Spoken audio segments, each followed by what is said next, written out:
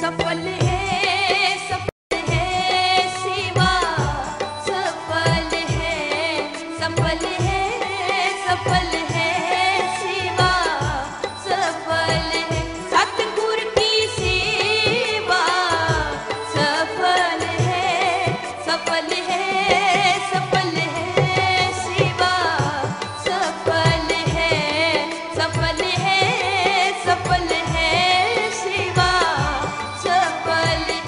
ਵਾਹਿਗੁਰੂ ਜੀ ਕਾ ਖਾਲਸਾ ਵਾਹਿਗੁਰੂ ਜੀ ਕੀ ਫਤਿਹ।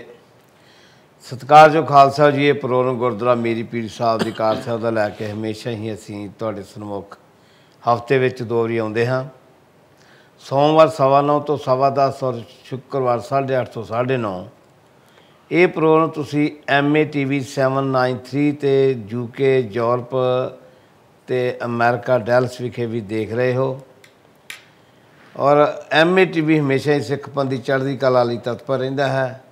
ਔਰ ਸਾਡੀ ਵੀ ਕੋਸ਼ਿਸ਼ ਹੁੰਦੀ ਹੈ ਕਿ ਵੱਧ ਤੋਂ ਵੱਧ ਜਿਹੜੇ ਸਿੱਖ ਪੰਥ ਨਾਲ ਰਿਲੇਟਡ ਮੁੱਦੇ ਆ, ਜਾਂ ਪੰਜਾਬ ਦੇ ਨਾਲ, ਜਾਂ ਜਿਨ੍ਹਾਂ ਦਾ ਅਸਰ ਸਿੱਖ ਪੰਥ ਤੇ ਆ, ਉਹਨਾਂ ਨੂੰ ਬਰੀਕੀ ਨਾਲ ਵਿਚਾਰਿਆ ਜਾਵੇ ਤੇ ਸੰਗਤਾਂ ਦੇ ਨਾਲ ਮਸ਼ਵਰਾ ਕੀਤਾ ਜਾਵੇ, ਸੰਗਤਾਂ ਦੀ ਸਲਾਹ ਲਈ ਜਾਵੇ। ਕਈ ਵਾਰ ਅਜਿਹਾ ਹੁੰਦਾ ਹੈ ਕਿ ਕੁਝ ਦੇਖਣ ਨੂੰ ਇਹ ਬਹੁਤ ਸੁਹਾਵਣੇ ਮੁੱਦੇ ਲੱਗਦੇ ਨੇ ਜਾਂ ਕਈਆਂ ਲੀਡਰਸ਼ਿਪ ਦੀਆਂ ਗੱਲਾਂ ਬਹੁਤ ਸੋਹਣੀਆਂ ਲੱਗਦੀਆਂ ਨੇ ਤੇ ਲੱਗਦਾ ਇਹ ਬੜਾ ਜਸ਼ੀਲਾ ਬੰਦਾ ਵਾ। ਪਰ ਜਦੋਂ ਅੰਦਰੋਂ ਨੂੰ ਘੋਖੀਏ ਤੇ ਉਦੋਂ ਪਤਾ ਲੱਗਦਾ ਵੀ ਇਹ ਤਾਂ ਬੜਾ ਮਾੜਾ ਕੰਮ ਹੋ ਰਿਹਾ। ਤੇ ਇਦਾਂ ਦੇ ਮੁੱਦਿਆਂ ਨੂੰ ਉਹ ਹੀ ਲੋਕ ਵਿਚਾਰ ਸਕਦੇ ਨੇ ਜਿਹੜੇ ਪੋਲੀਟੀਕਲ ਬੰਦੇ ਹੋਣ, ਜਿਨ੍ਹਾਂ ਨੂੰ ਪੋਲੀਟੀਕਲ ਬੈਕਗ੍ਰਾਉਂਡ ਦਾ ਪਤਾ ਹੋਏ, ਸਿੱਖ ਹਿਸਟਰੀ ਦਾ ਪਤਾ ਹੋਏ। ਔਰ ਜੇਕਰ ਆਪਾਂ ਘੋਖੀਏ ਤੇ ਫਿਰ ਸਭ ਕੁਝ ਲੱਭ ਜਾਂਦਾ ਜੇ ਆਪਾਂ ਸੁਣ ਕੇ ਪਾਸਾ ਪਰ ਇਹਨੂੰ ਕਰ ਦਈਏ, ਫਿਰ ਉਹ ਹੀ ਰਹੇਗਾ ਜੋ ਸੁਣਿਆ ਹੋਇਆ। ਉਹ ਤੇ ਵਿਚਾਰ ਨਹੀਂ ਕੀਤਾ ਜਾ ਸਕਦਾ। ਅੱਜ ਅਸੀਂ ਵਿਚਾਰ ਕਰਦੇ ਹਾਂ ਕਿ ਜਿਹੜਾ ਪਿਛਲੇ ਕੁਝ ਦਿਨਾਂ ਕੁਝ ਯੂਕੇ ਦੀ ਅਖੌਤੀ ਲੀਡਰਸ਼ਿਪ ਨੇ ਮਤਾ ਪਾਸ ਕੀਤਾ ਕਿ ਯੂਕੇ ਦੇ ਵਿੱਚ ਜਿਹੜੇ ਇੰਡੀਅਨ ਜਿਹੜੇ ਆਫੀਸਰਸ ਨੇ, ਉਹਨਾਂ ਨੂੰ ਗੁਰਦੁਆਰਿਆਂ ਵਿੱਚ ਬੋਲਣ ਨਹੀਂ ਦਿੱਤਾ ਜਾਊਗਾ, ਆਉਣ ਨਹੀਂ ਦਿੱਤਾ ਜਾਊਗਾ। ਪਹਿਲੇ ਤੇ ਇਹਨਾਂ ਨੂੰ ਇਹ ਪੁੱਛਿਆ ਜਾਣਾ ਚਾਹੀਦਾ ਵੀ 1984 ਦੇ ਬਾਅਦ ਉਹ ਕਿੰਨਾ ਹੀ ਕਿੰਨੀਆਂ ਕੁ ਉਹਨਾਂ ਨੇ ਐਪਲੀਕੇਸ਼ਨ ਦਿੱਤੀਆਂ ਵੀ ਸਾਨੂੰ ਗੁਰਦੁਆਰਿਆਂ ਵਿੱਚ ਬੋਲਣ ਦਿੱਤਾ ਜਾਵੇ। ਮੇਰਾ ਖਿਆਲ ਆ ਉਹ ਕਿਸੇ ਗੁਰਦੁਆਰੇ ਵਿੱਚ ਵੀ 1984 ਦੇ ਬਾਅਦ ਕਿਤੇ ਵੀ ਨਹੀਂ ਬੋਲੇ। ਜੇ ਕਿਤੇ ਕਿਸੇ ਗੁਰੂ ਘਰਾਂ ਨੇ ਉਹਨਾਂ ਨੂੰ ਸੱਦਾ ਪੱਤਰ ਦਿੱਤਾ ਹੋਊ ਤੇ ਉੱਥੇ ਵੱਧ ਤੋਂ ਵੱਧ ਉਹ ਸਰੋਪਾ ਲੈ ਕੇ ਇੱਕ ਦੋ ਗੁਰੂ ਘਰਾਂ ਤੋਂ ਆ ਗਏ ਹੋਣਗੇ। ਤੇ ਮਤੇ ਪਾਸ ਕਰਨਾ ਵੀ ਉਹ ਵਿਅਕਤੀ ਆ, ਜਿਹੜਾ ਪਹਿਲਾਂ ਤਾਂ ਉਹਨੇ ਇਕੱਲੇ ਨੇ ਬਿਆਨ ਦਿੱਤਾ, ਜਿਹੜਾ ਇਹਨਾਂ ਦੇ ਨਾਲ ਬਹਿ ਕੇ ਹੇਜ ਵਿੱਚ ਇੱਕ ਗੁਰੂ ਘਰ ਦੇ ਵਿੱਚੋਂ ਸਰੋਪਾ ਲੈ ਕੇ ਆਇਆ ਇਹਨਾਂ ਦੀ ਸਟੇਜ ਤੇ। ਉਹਦੀ ਅਖਬਾਰਾਂ ਵਿੱਚ ਫੋਟੋਆਂ ਵੀ ਛਪੀਆਂ, ਸਰੋਪੇ ਲੈਂਦੇ ਦੀਆਂ ਫੋਟੋਆਂ ਵੀ ਛਪੀਆਂ, ਔਰ ਉਹਨੂੰ ਉਦੋਂ ਕੋਈ ਇਤਰਾਜ਼ ਨਹੀਂ ਸੀ। ਇਹ ਜੋ ਕੁਝ ਹੋ ਰਿਹਾ ਬੈਕਗ੍ਰਾਉਂਡ ਇਹਦੀ ਇਹ ਸਾਨੂੰ ਅੱਜ ਦੇਖਣਾ ਪਊਗਾ ਵੀ 84 ਦੇ ਬਾਅਦ ਇਦਾਂ ਦੇ ਮਤੇ ਪਾਸ ਨਹੀਂ ਕੀਤੇ ਗਏ।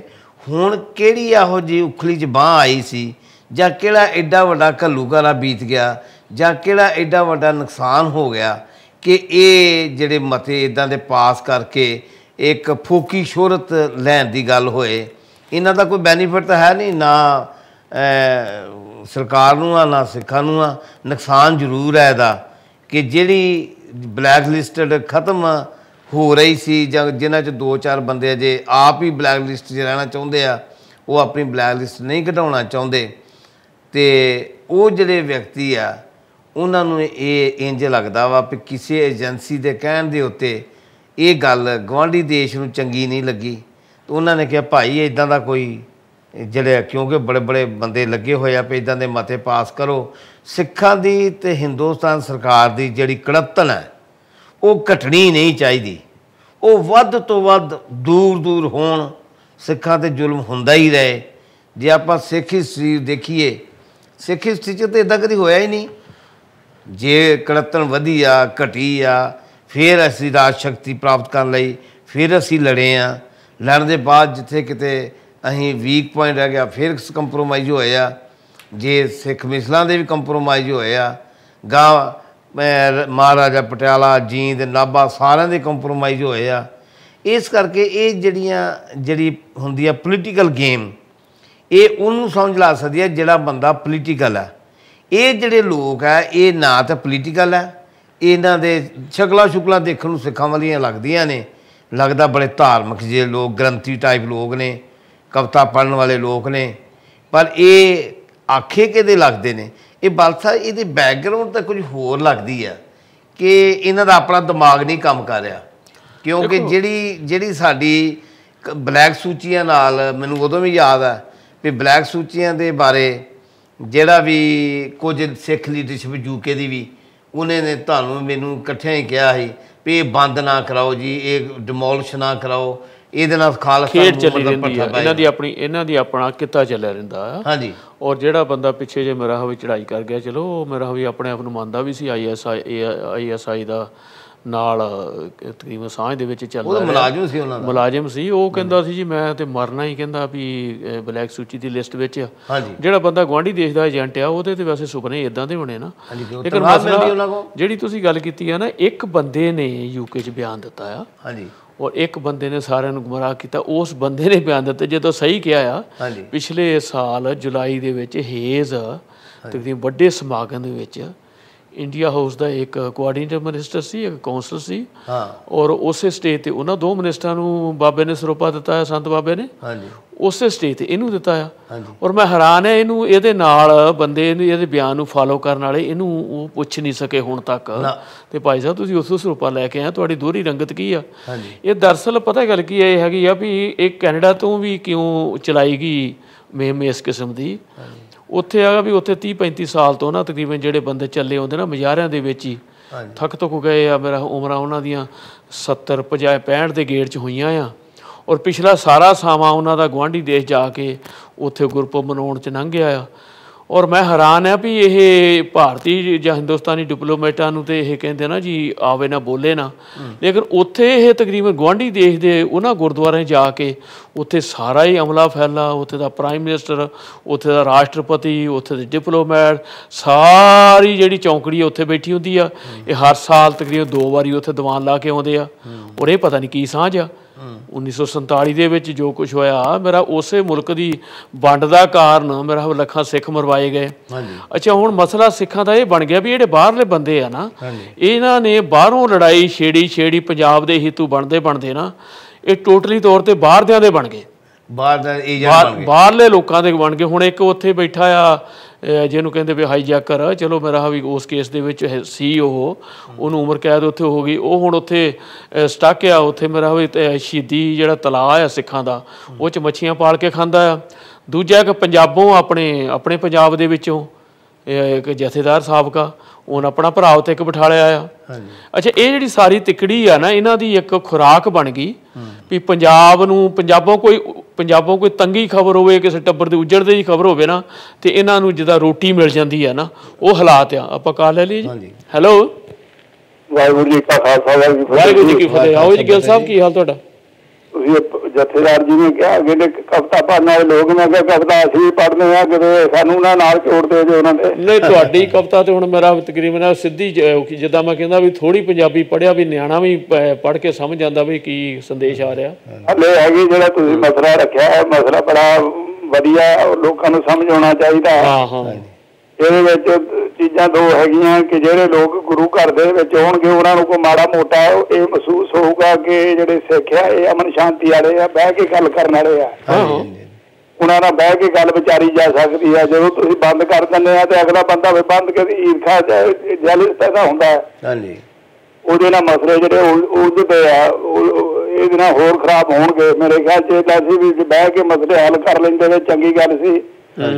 ਨਾਲੇ ਕਿਸੇ ਕੋ ਕੋਈ ਅਧਿਕਾਰ ਨਹੀਂ ਹੁੰਦਾ ਕਿ ਗੁਰੂ ਘਰ ਜੋ ਕਿਸੇ ਨੂੰ ਡੱਕ ਦੇਵੇ। ਬਿਲਕੁਲ ਬਿਲਕੁਲ। ਗੁਰੂ ਘਰ ਸਭ ਸਾਂਝੇ ਆ ਗੁਰੂ ਘਰਾਂ ਦੇ ਵਿੱਚ ਆਉਣ ਤੋਂ ਕਿਸੇ ਦੇ ਪਾਬੰਦੀ ਲਾਉਣੀ ਇੱਕ ਵੱਡੀ ਮੂਰਖਤਾ ਹੋਊਗੀ ਮੇਰੇ ਖਿਆਲ ਚ ਕਿ ਜਿਹੜੀ ਆ ਜੇ ਉਦਾਂ ਕੋਈ ਬਹਿ ਕੇ ਤੁਸੀਂ ਮਸਲਾ ਹੱਲ ਕਰਨਾ ਤੇ ਬਹਿ ਕੇ ਮਸਲਾ ਹੱਲ ਕੀਤਾ ਜਾ ਸਕਦਾ। ਠੀਕ ਹੈ ਜੀ। ਤੇ ਹਰ ਇੱਕ ਨੂੰ ਜਾਣਗੇ ਤੁਸੀਂ ਜੇ ਗੁਰਦੁਆਰੇ ਡੱਕਣ ਲੱਗੇ ਤੇ ਇਦਾਂ ਦਾ ਕੋਈ ਗੁਰਦੁਆਰੇ ਆਊ ਨਾ ਤੇ ਜਿਹੜੀਆਂ ਇਹ ਜਿਹੜੀਆਂ ਬਿਲਡਿੰਗਾਂ ਬਣਾਉਂਦੇ ਆ ਇਹਦੇ ਜਿੱਥੇ ਟਾਰਾ ਮਾਰਦੇ ਆ ਤੇ ਉੱਥੇ ਕੌਣ ਆ ਕੇ ਬੈਠੂਗਾ ਪ੍ਰਚਾਰ ਕਿਉਂ ਕਰੂਗਾ ਸਿੱਖੀ ਦਾ? ਠੀਕ ਹੈ ਜੀ। ਇੱਥੇ ਸਾਰਿਆਂ ਦਾ ਮੈਂ ਇੱਕ ਲਾਈਨਾਂ ਚਾਰ ਕਹਿਣੀਆਂ ਹਾਂ ਕਹੋ ਜੀ ਕਹੋ। ਕਹੋ ਕਹੋ ਜੀ। ਲਿਖਿਆ ਵੀ ਕੁਝ ਜੇ ਕੁਝ ਦੇ ਨਹੀਂ ਸਕਦੇ ਕੋਲੋਂ ਉਮੀਦ ਨਾ ਰੱਖੋ ਕੁਝ ਲੈਣ ਲਈ। ਹਾਂਜੀ। ਦੁੱਖ ਲੱਗਦਾ ਜੇ ਸੱਚ ਸੁਣਨ ਦਾ ਮੂੰਹ ਬੰਦ ਰੱਖੋ ਕੁਝ ਕਹਿਣ ਲਈ। ਕਿ ਚਾਹੁੰਦੇ ਲੋਕ ਪੰਜਾਬ ਦੇ ਉਹਨਾਂ ਉੱਤੇ ਰਹਿਣ ਦਿਓ? ਗੁਰੂ ਘਰ ਤਾਂ ਸਭ ਦੇ ਸਾਂਝੇ ਨੇ ਇੱਥੇ ਤੇ ਇਕੱਠੇ ਬੈਠ ਦਿਓ। ਹਾਂਜੀ। ਜਰਾ ਸੋਚੋ ਵੱਡੇ ਸਲਾਹਕਾਰੋ ਕਿ ਕੀ ਨੁਕਸਾਨ ਕੌਮ ਦਾ ਹੋਇਆ ਥਾਂ ਥਾਂ ਤੇ ਹੋਈਆਂ ਬੇਪਤੀਆਂ ਖੂਨ ਗਿਆ ਵੀਰਾਂ ਦਾ ਚੋਇਆ ਹਾਂਜੀ। ਜਿਨ੍ਹਾਂ ਦੋਖਾਂ ਡਾਏ ਪਿੰਡੇ ਤੇ ਉਹਨਾਂ ਨੂੰ ਟੇਕੇ ਬਹਿਣ ਦਿਓ। ਗੁਰੂ ਘਰ ਤੇ ਸਭ ਦੇ ਸਾਂਝੇ ਨੇ ਇੱਥੇ ਤੇ ਇਕੱਠੇ ਰਹਿਣ ਦਿਓ। ਹਾਂਜੀ। ਇਹਨਾਂ ਨਦੀਆਂ ਤਰੀਆਂ ਖੂਨ ਦੀਆਂ ਤੇ ਸਿਵੇ ਪੁੱਤਰਾਂ ਦੇ ਸੇਕੇ ਨੇ ਜਰਾ ਦੱਸੋ ਵੱਡੇ ਸੂਰਮਿਓ ਕੀ ਹਾਲ ਉਹਨਾਂ ਦੇ ਵੇਖੇ ਨੇ? ਹਾਂਜੀ। ਉਹਨਾਂ ਦੇ ਨੰਨੇ ਮੁੰਨੇ ਬੱਚਿਆਂ ਤੇ ਹੋਰ ਜ਼ੁਲਮ ਧਿਆਨ ਦਿਓ। ਹਾਂਜੀ। ਜੋ ਇਕੱਠੇ ਗੁਰੂ ਘਰ ਦੇ ਇਕੱਠੇ ਹੁੰਦੇ ਨੇ ਤੇ ਉਹਨਾਂ ਨੂੰ ਇਕੱਠੇ ਬਹਿਣ ਦਿਓ। ਬਿਲਕੁਲ। ਇਹ ਗੱਲ ਕਹਿਣੀ ਚਾਹਾਂਗਾ ਜੇ ਚੰਗੀ ਲੱਗੇ ਤਾਂ ਰੱਖ ਦਿਓ ਪਾਤੇ ਆਪਣਿਆਂ ਦੀ ਰੋੜੋ ਨਾ ਜੇ ਜੇ ਹੋ ਸਕੇ ਤੇ ਟੱਕ ਰਿਓ ਹੂੰ। ਗੱਲ ਬਾਹਾਂ ਟੁੱਟੀਆਂ ਗੱਲ ਨੂੰ ਆਉਂਦੀਆਂ ਨੇ ਨਾ ਪੱਗ ਕੌਮ ਦੀ ਰੋੜੋ ਨਾ ਜੇ ਬਾਹ ਨਹੀਂ ਫੜ ਸਕਦੇ ਹੋਰ ਕਿਸੇ ਤੇ ਹੋਰ ਉਹ ਝੂਠ ਨਾ ਬੋਲੋ ਨਾ। ਹੂੰ। ਉਹ ਜਿਹੜੀ ਇਹ ਜਿਹੜੀ ਇੱਕ ਦੂਜੇ ਨੂੰ ਗੁਰਦੁਆਰਿਆਂ 'ਚ ਬਹਿਣ ਤੋਂ ਜਾਂ ਡੱਕਣ ਡੱਕਣ ਦੀ ਜਿਹੜੀ ਪਰੰਪਰਾ ਨਵੀਂ ਤੋਰੀ ਆ ਇਹ ਰੁਕਣੀ ਚਾਹੀਦੀ ਹੈ ਇਹ ਨਿੰਦਨ ਯੋਗ ਆ ਕਿਸੇ ਨੂੰ ਗੁਰਦੁਆਰਿਆਂ ਰੋਕਣਾ ਜਿਹੜਾ ਮੂਰਖਤਾ ਆ ਮੇਰੇ ਖਿਆਲ 'ਚ। ਠੀਕ ਹੈ ਜੀ। ਬਿਲਕੁਲ। ਇਦਾਂ ਲੱਗਦਾ ਜੀ। ਵਾਹਿਗੁਰੂ ਜੀ ਕਾ ਖਾਲਸਾ ਵਾਹਿਗੁਰੂ ਜੀ ਕੀ ਫਤਿਹ। ਇਹ ਬਲਸਰ ਜਿੱਦਾਂ ਤੁਸੀਂ ਇੱਕ ਗੱਲ ਕਹੀ ਆ ਵੀ ਇਹ ਬਾਹਰ ਦੇ ਬੰਦੇ ਗੱਲ ਕਰਦੇ ਬਾਹਰ ਦਿਆਂ ਦੇ ਏਜੰਟ ਬਣ ਗਏ ਆ। ਇਹ ਕਿਹਨਾਂ ਦੇ ਏਜੰਟ? ਕੀ ਤੁਹਾਡਾ ਕੀ ਸਾਡਾ ਸਾਡਾ? ਜਿਹੜਾ ਦੁਕਾਨ ਸਾਰਾ ਪੰਜਾਬ 'ਚ ਆ ਨਾ। ਹਾਂਜੀ। ਪੰਜਾਬ 'ਚ ਹੀ ਤਕਰੀਬਨ ਆ ਵੀ ਸਾਡੇ ਪੁਲਿਸ ਮੁਕਾਬਲੇ ਹੋਏ ਆ। ਹਾਂਜੀ। ਪੰਜਾਬ 'ਚ ਹੀ ਖਾੜਕੂ ਲਹਿਰ ਨੇ ਜਨਮ ਲਿਆ। ਹਾਂਜੀ। ਪੰਜਾਬ 'ਚ ਹੀ ਖਾੜਕੂ ਲਹਿਰ ਦੇ ਜਿਹੜੇ ਬੱਚੇ ਬੰਦੇ ਆ ਜਿਹੜੇ ਆਗੂ ਆ ਉਹ ਪੰਜਾਬ 'ਚ ਹੀ ਵਿਚਰਦੇ ਆ ਹੋਰ ਪੰਥਕ ਸੰਸਥਾਵਾਂ ਵਿਚਰਦੀਆਂ। ਹੂੰ। ਉਹ ਲੋਕ ਪੰਜਾਬ ਦੇ ਵਿੱਚ ਆਪਣਾ ਦੁੱਖ ਸੁੱਖ ਸਾਂਝਾ ਕਰਦੇ ਇੱਕ ਦੂਜੇ ਦੇ ਨਾਲ। ਇਹ ਲੋਕੀ ਬਾਹਰਲੇ ਇਹ ਉਹਨਾਂ ਦੀ ਜਿਹੜੀ ਖਬਰ ਆ।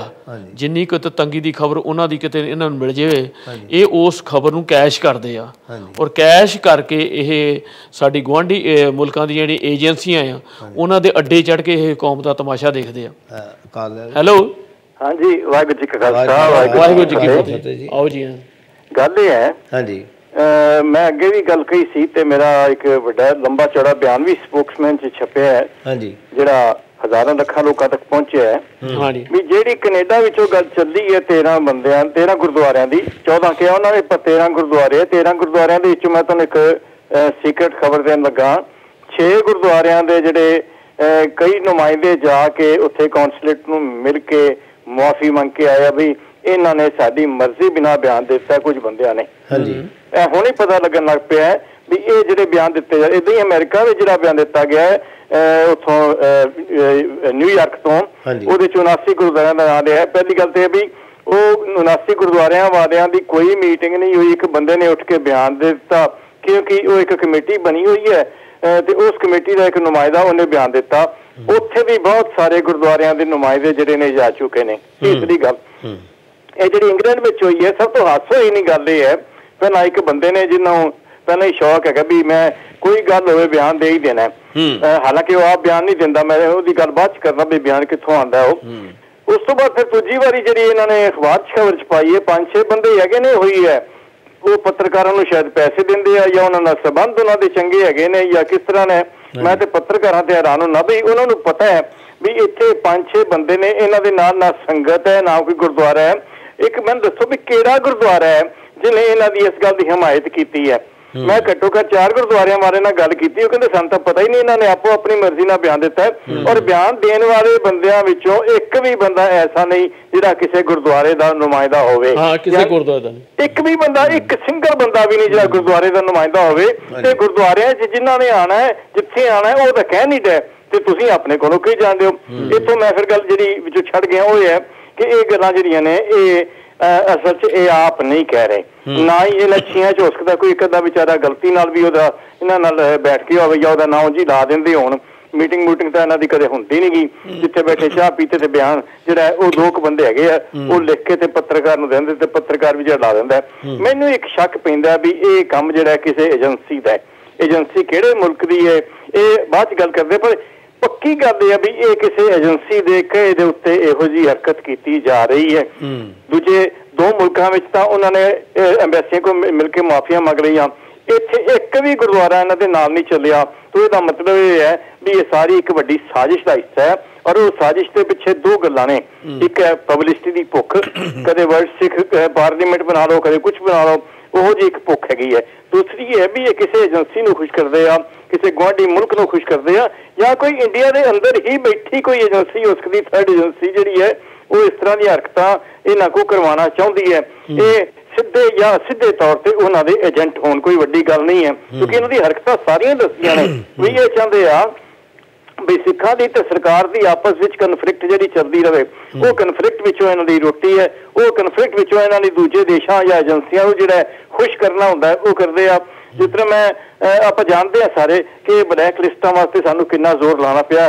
ਕਿੰਨੀ ਵਾਰੀ ਸਟਰਗਲ ਕਰਨੀ ਪਈ ਹਿਊਮਨ ਰਾਈਟਸ ਕਮਿਸ਼ਨ ਕੋ ਗਏ ਸਰਕਾਰ ਨੂੰ ਮਿਲੇ ਵਕੀਲਾਂ ਦੇ ਥਰੂ ਗੱਲਬਾਤ ਕੀਤੀ ਮੋਦੀ ਸਾਹਿਬ ਨੂੰ ਇੱਥੇ ਆਏ ਤੇ ਤਾਂ ਮਿਲੇ ਲੋਕ।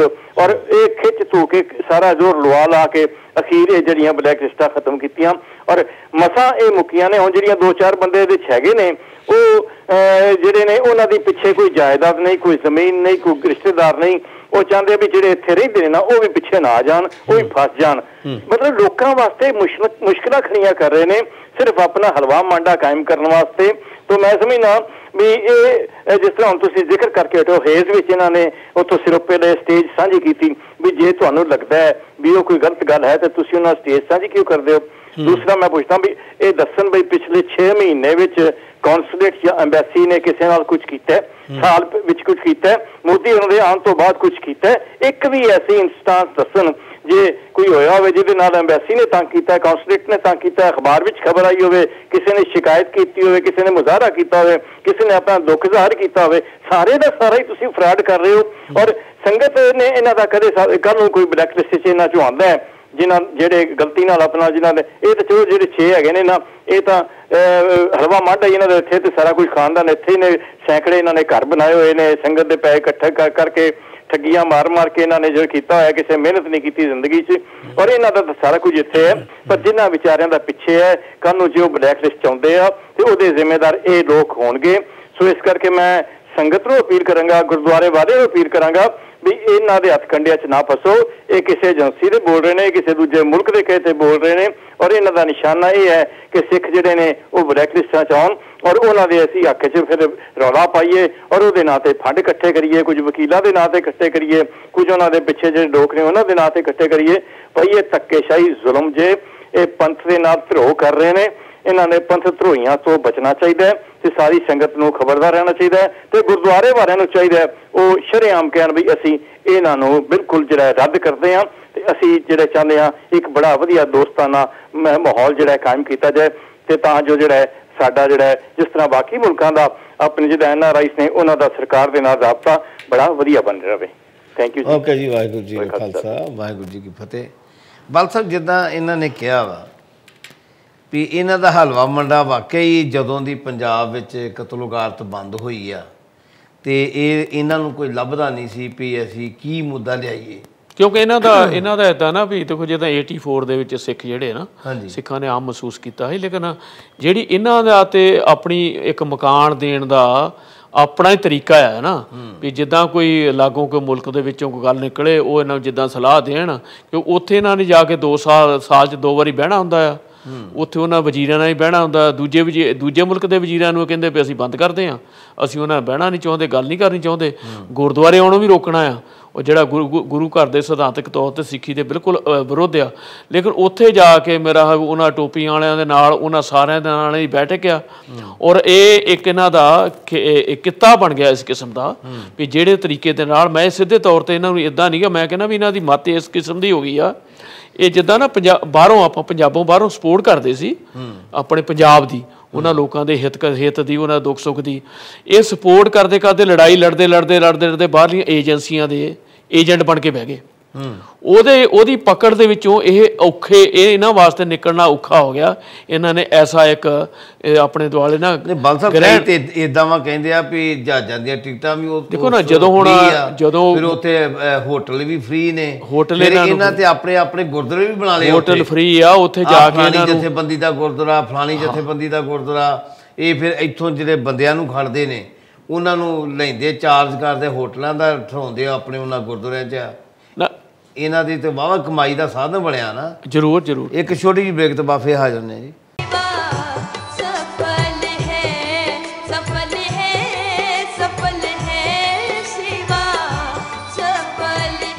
And like a mobile, we do things your way.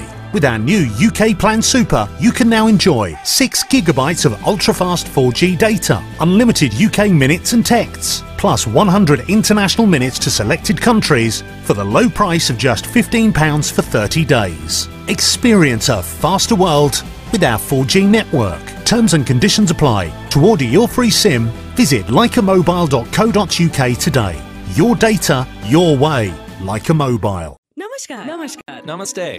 I love ah, India. Ah, ah. So, travel a lot? No, just on business. You love India without experiencing it. But I have experienced it right here on Air India.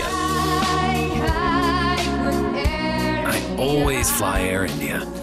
Me too. Now fly anywhere to anywhere. Earn and redeem miles via 27 Star Alliance partners. Air India. Proud to be Indian. Proud to be global. Heston Hyde West London के सबसे शानदार hotels में से एक with 303 air condition rooms and suites one of the largest banquet spaces in London meeting room for up to 1200 people conferences musical function weddings या कोई भी gathering मनपसंद भोजन, शानदार आयोजन और बेहतरीन वेन्यू 400 गाड़ियों की पार्किंग के साथ Heston Hyde. For bookings call zero two zero eight five seven two one eight one eight हज़ारों लोग हर रोज सुबह से रात तक कभी न कभी एम ए टीवी ज़रूर देखते हैं they might be your future customers but you have to tell them about your products and services let's grow your business with M A TV advertise, promote, and market your product and services on MATV. Call MATV Sales on 07970 337036 or 0208 795 0026. Thanks. Jay Lakhani. Sri Lakhani is a popular public speaker on Hinduism in the United Kingdom. He offers Hindu teachings to hundreds of youngsters, as well as thousands of students in schools, colleges, and universities. In a series of talks given to the postgraduate students at a dozen or so universities, he explores the depth of Hindu teachings as well as its breadth of vision. If you wish to get a glimpse of the modern, dynamic face of Hinduism, do not miss this series of talks. राजनीति, धार्मिक, आर्थिक, सामाजिक या कभी कभी अंतर्राष्ट्रीय। राजनीति के गलियारों में अलग अलग नुक्कड़ों पर व्यक्तियों के बीच, धार्मिक संस्थाओं के बीच कभी कभी राष्ट्रों के बीच या कभी कभी व्यक्तिगत। एक राजनीति लगातार चलती रहती है और यही राजनीति हम लेके आ रहे हैं। हर बुधवार शाम सात बजे आपके एम टीवी पर। देखना मत भूलिए, राजनीति।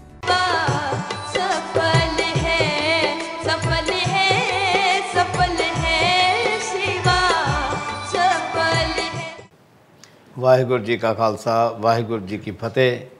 ਜਿਵੇਂ ਤੁਸੀਂ ਸੁਣਿਆ ਹੀ ਹੋਵੇਗਾ ਕਿ ਜਿਹੜੀ ਪਿਛਲੀ ਗਵਰਨਮੈਂਟ, ਕਾਂਗਰਸ ਗਵਰਨਮੈਂਟ ਸੀ, ਉਹਨੇ ਦਿੱਲੀ ਦੇ 84 ਦੇ ਜਿਹੜੇ ਕਤਲੇਆਮ ਸੀ, ਉਹਦੇ 186 ਕੇਸਾਂ ਤੋਂ ਵੱਧ ਉਹਨਾਂ ਨੇ ਬੰਦ ਕਰਾਏ ਸੀ, ਉਹ ਖੇਰ ਖਤਮ ਹੋ ਗਏ ਸੀ। ਪਰ ਇਸ ਸਰਕਾਰ ਨੇ ਸੁਪਰੀਮ ਕੋਰਟ ਦੇ ਜੱਜ ਦੇ ਕਹਿਣ ਦੇ ਨਾਲ 186 ਕੇਸ ਦੰਗਿਆਂ ਦੇ ਜਨਾ ਕਤਲੇਆਮ ਦੇ, ਉਹ ਰੀਓਪਨ ਕੀਤੇ ਨੇ।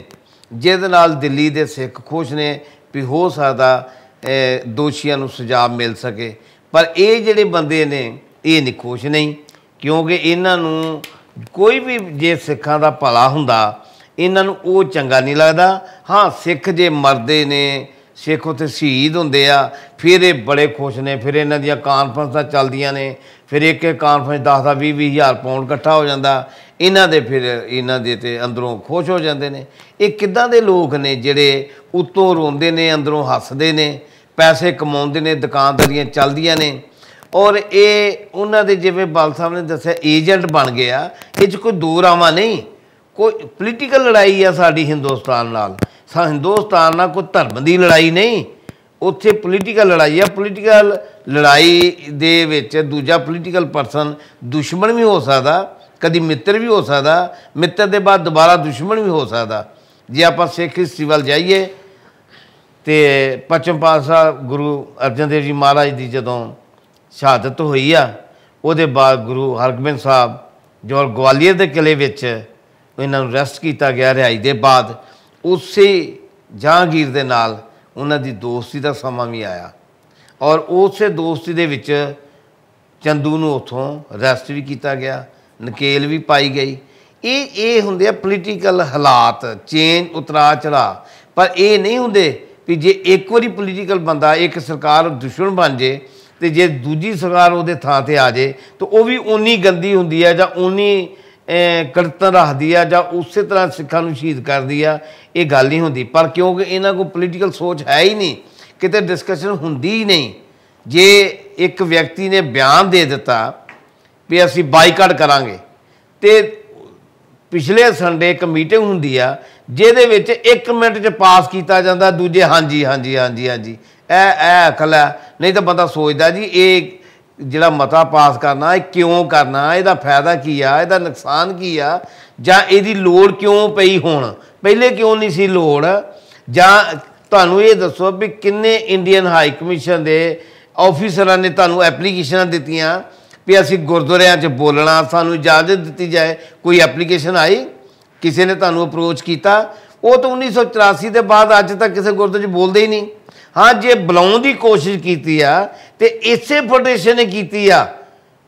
ਬਾਲਸਾ ਤੁਹਾਡੇ ਹਵੇਲੋ ਰੋਡ ਜੋ ਨਈਏ ਸਾਹਿਬ ਆਏ ਸੀ ਉਹਨਾਂ ਨੂੰ ਬੁਲਾਉਣ ਦੇ ਬੁਲਾਉਣ ਵਾਲੇ ਇਹੋ ਲੋਕ ਸੀ ਨਾ। ਨਹੀਂ ਇਹ ਸਾਹਿਬ ਮੱਥਾ ਟੇਕਣ ਆਏ ਤੇ ਉੱਥੇ ਕਨਫਿਊਜ਼ਿੰਗ ਹੋਈ ਨਾ ਜਦੋਂ। ਹਾਂਜੀ ਹਾਂਜੀ। ਤੇ ਇਹ ਇਹਨਾਂ ਨੇ ਤਕਰੀਬਨ ਅੱਜ ਵੀ ਸਾਡੇ ਕੋਲ ਅਖਬਾਰ ਪਏ ਆ। ਮੈਂ ਮੀਡੀਆ ਤੇ ਇੰਟਰਨੈਟ ਤੇ ਪਾਇਆ ਸੀ ਫੋਨ।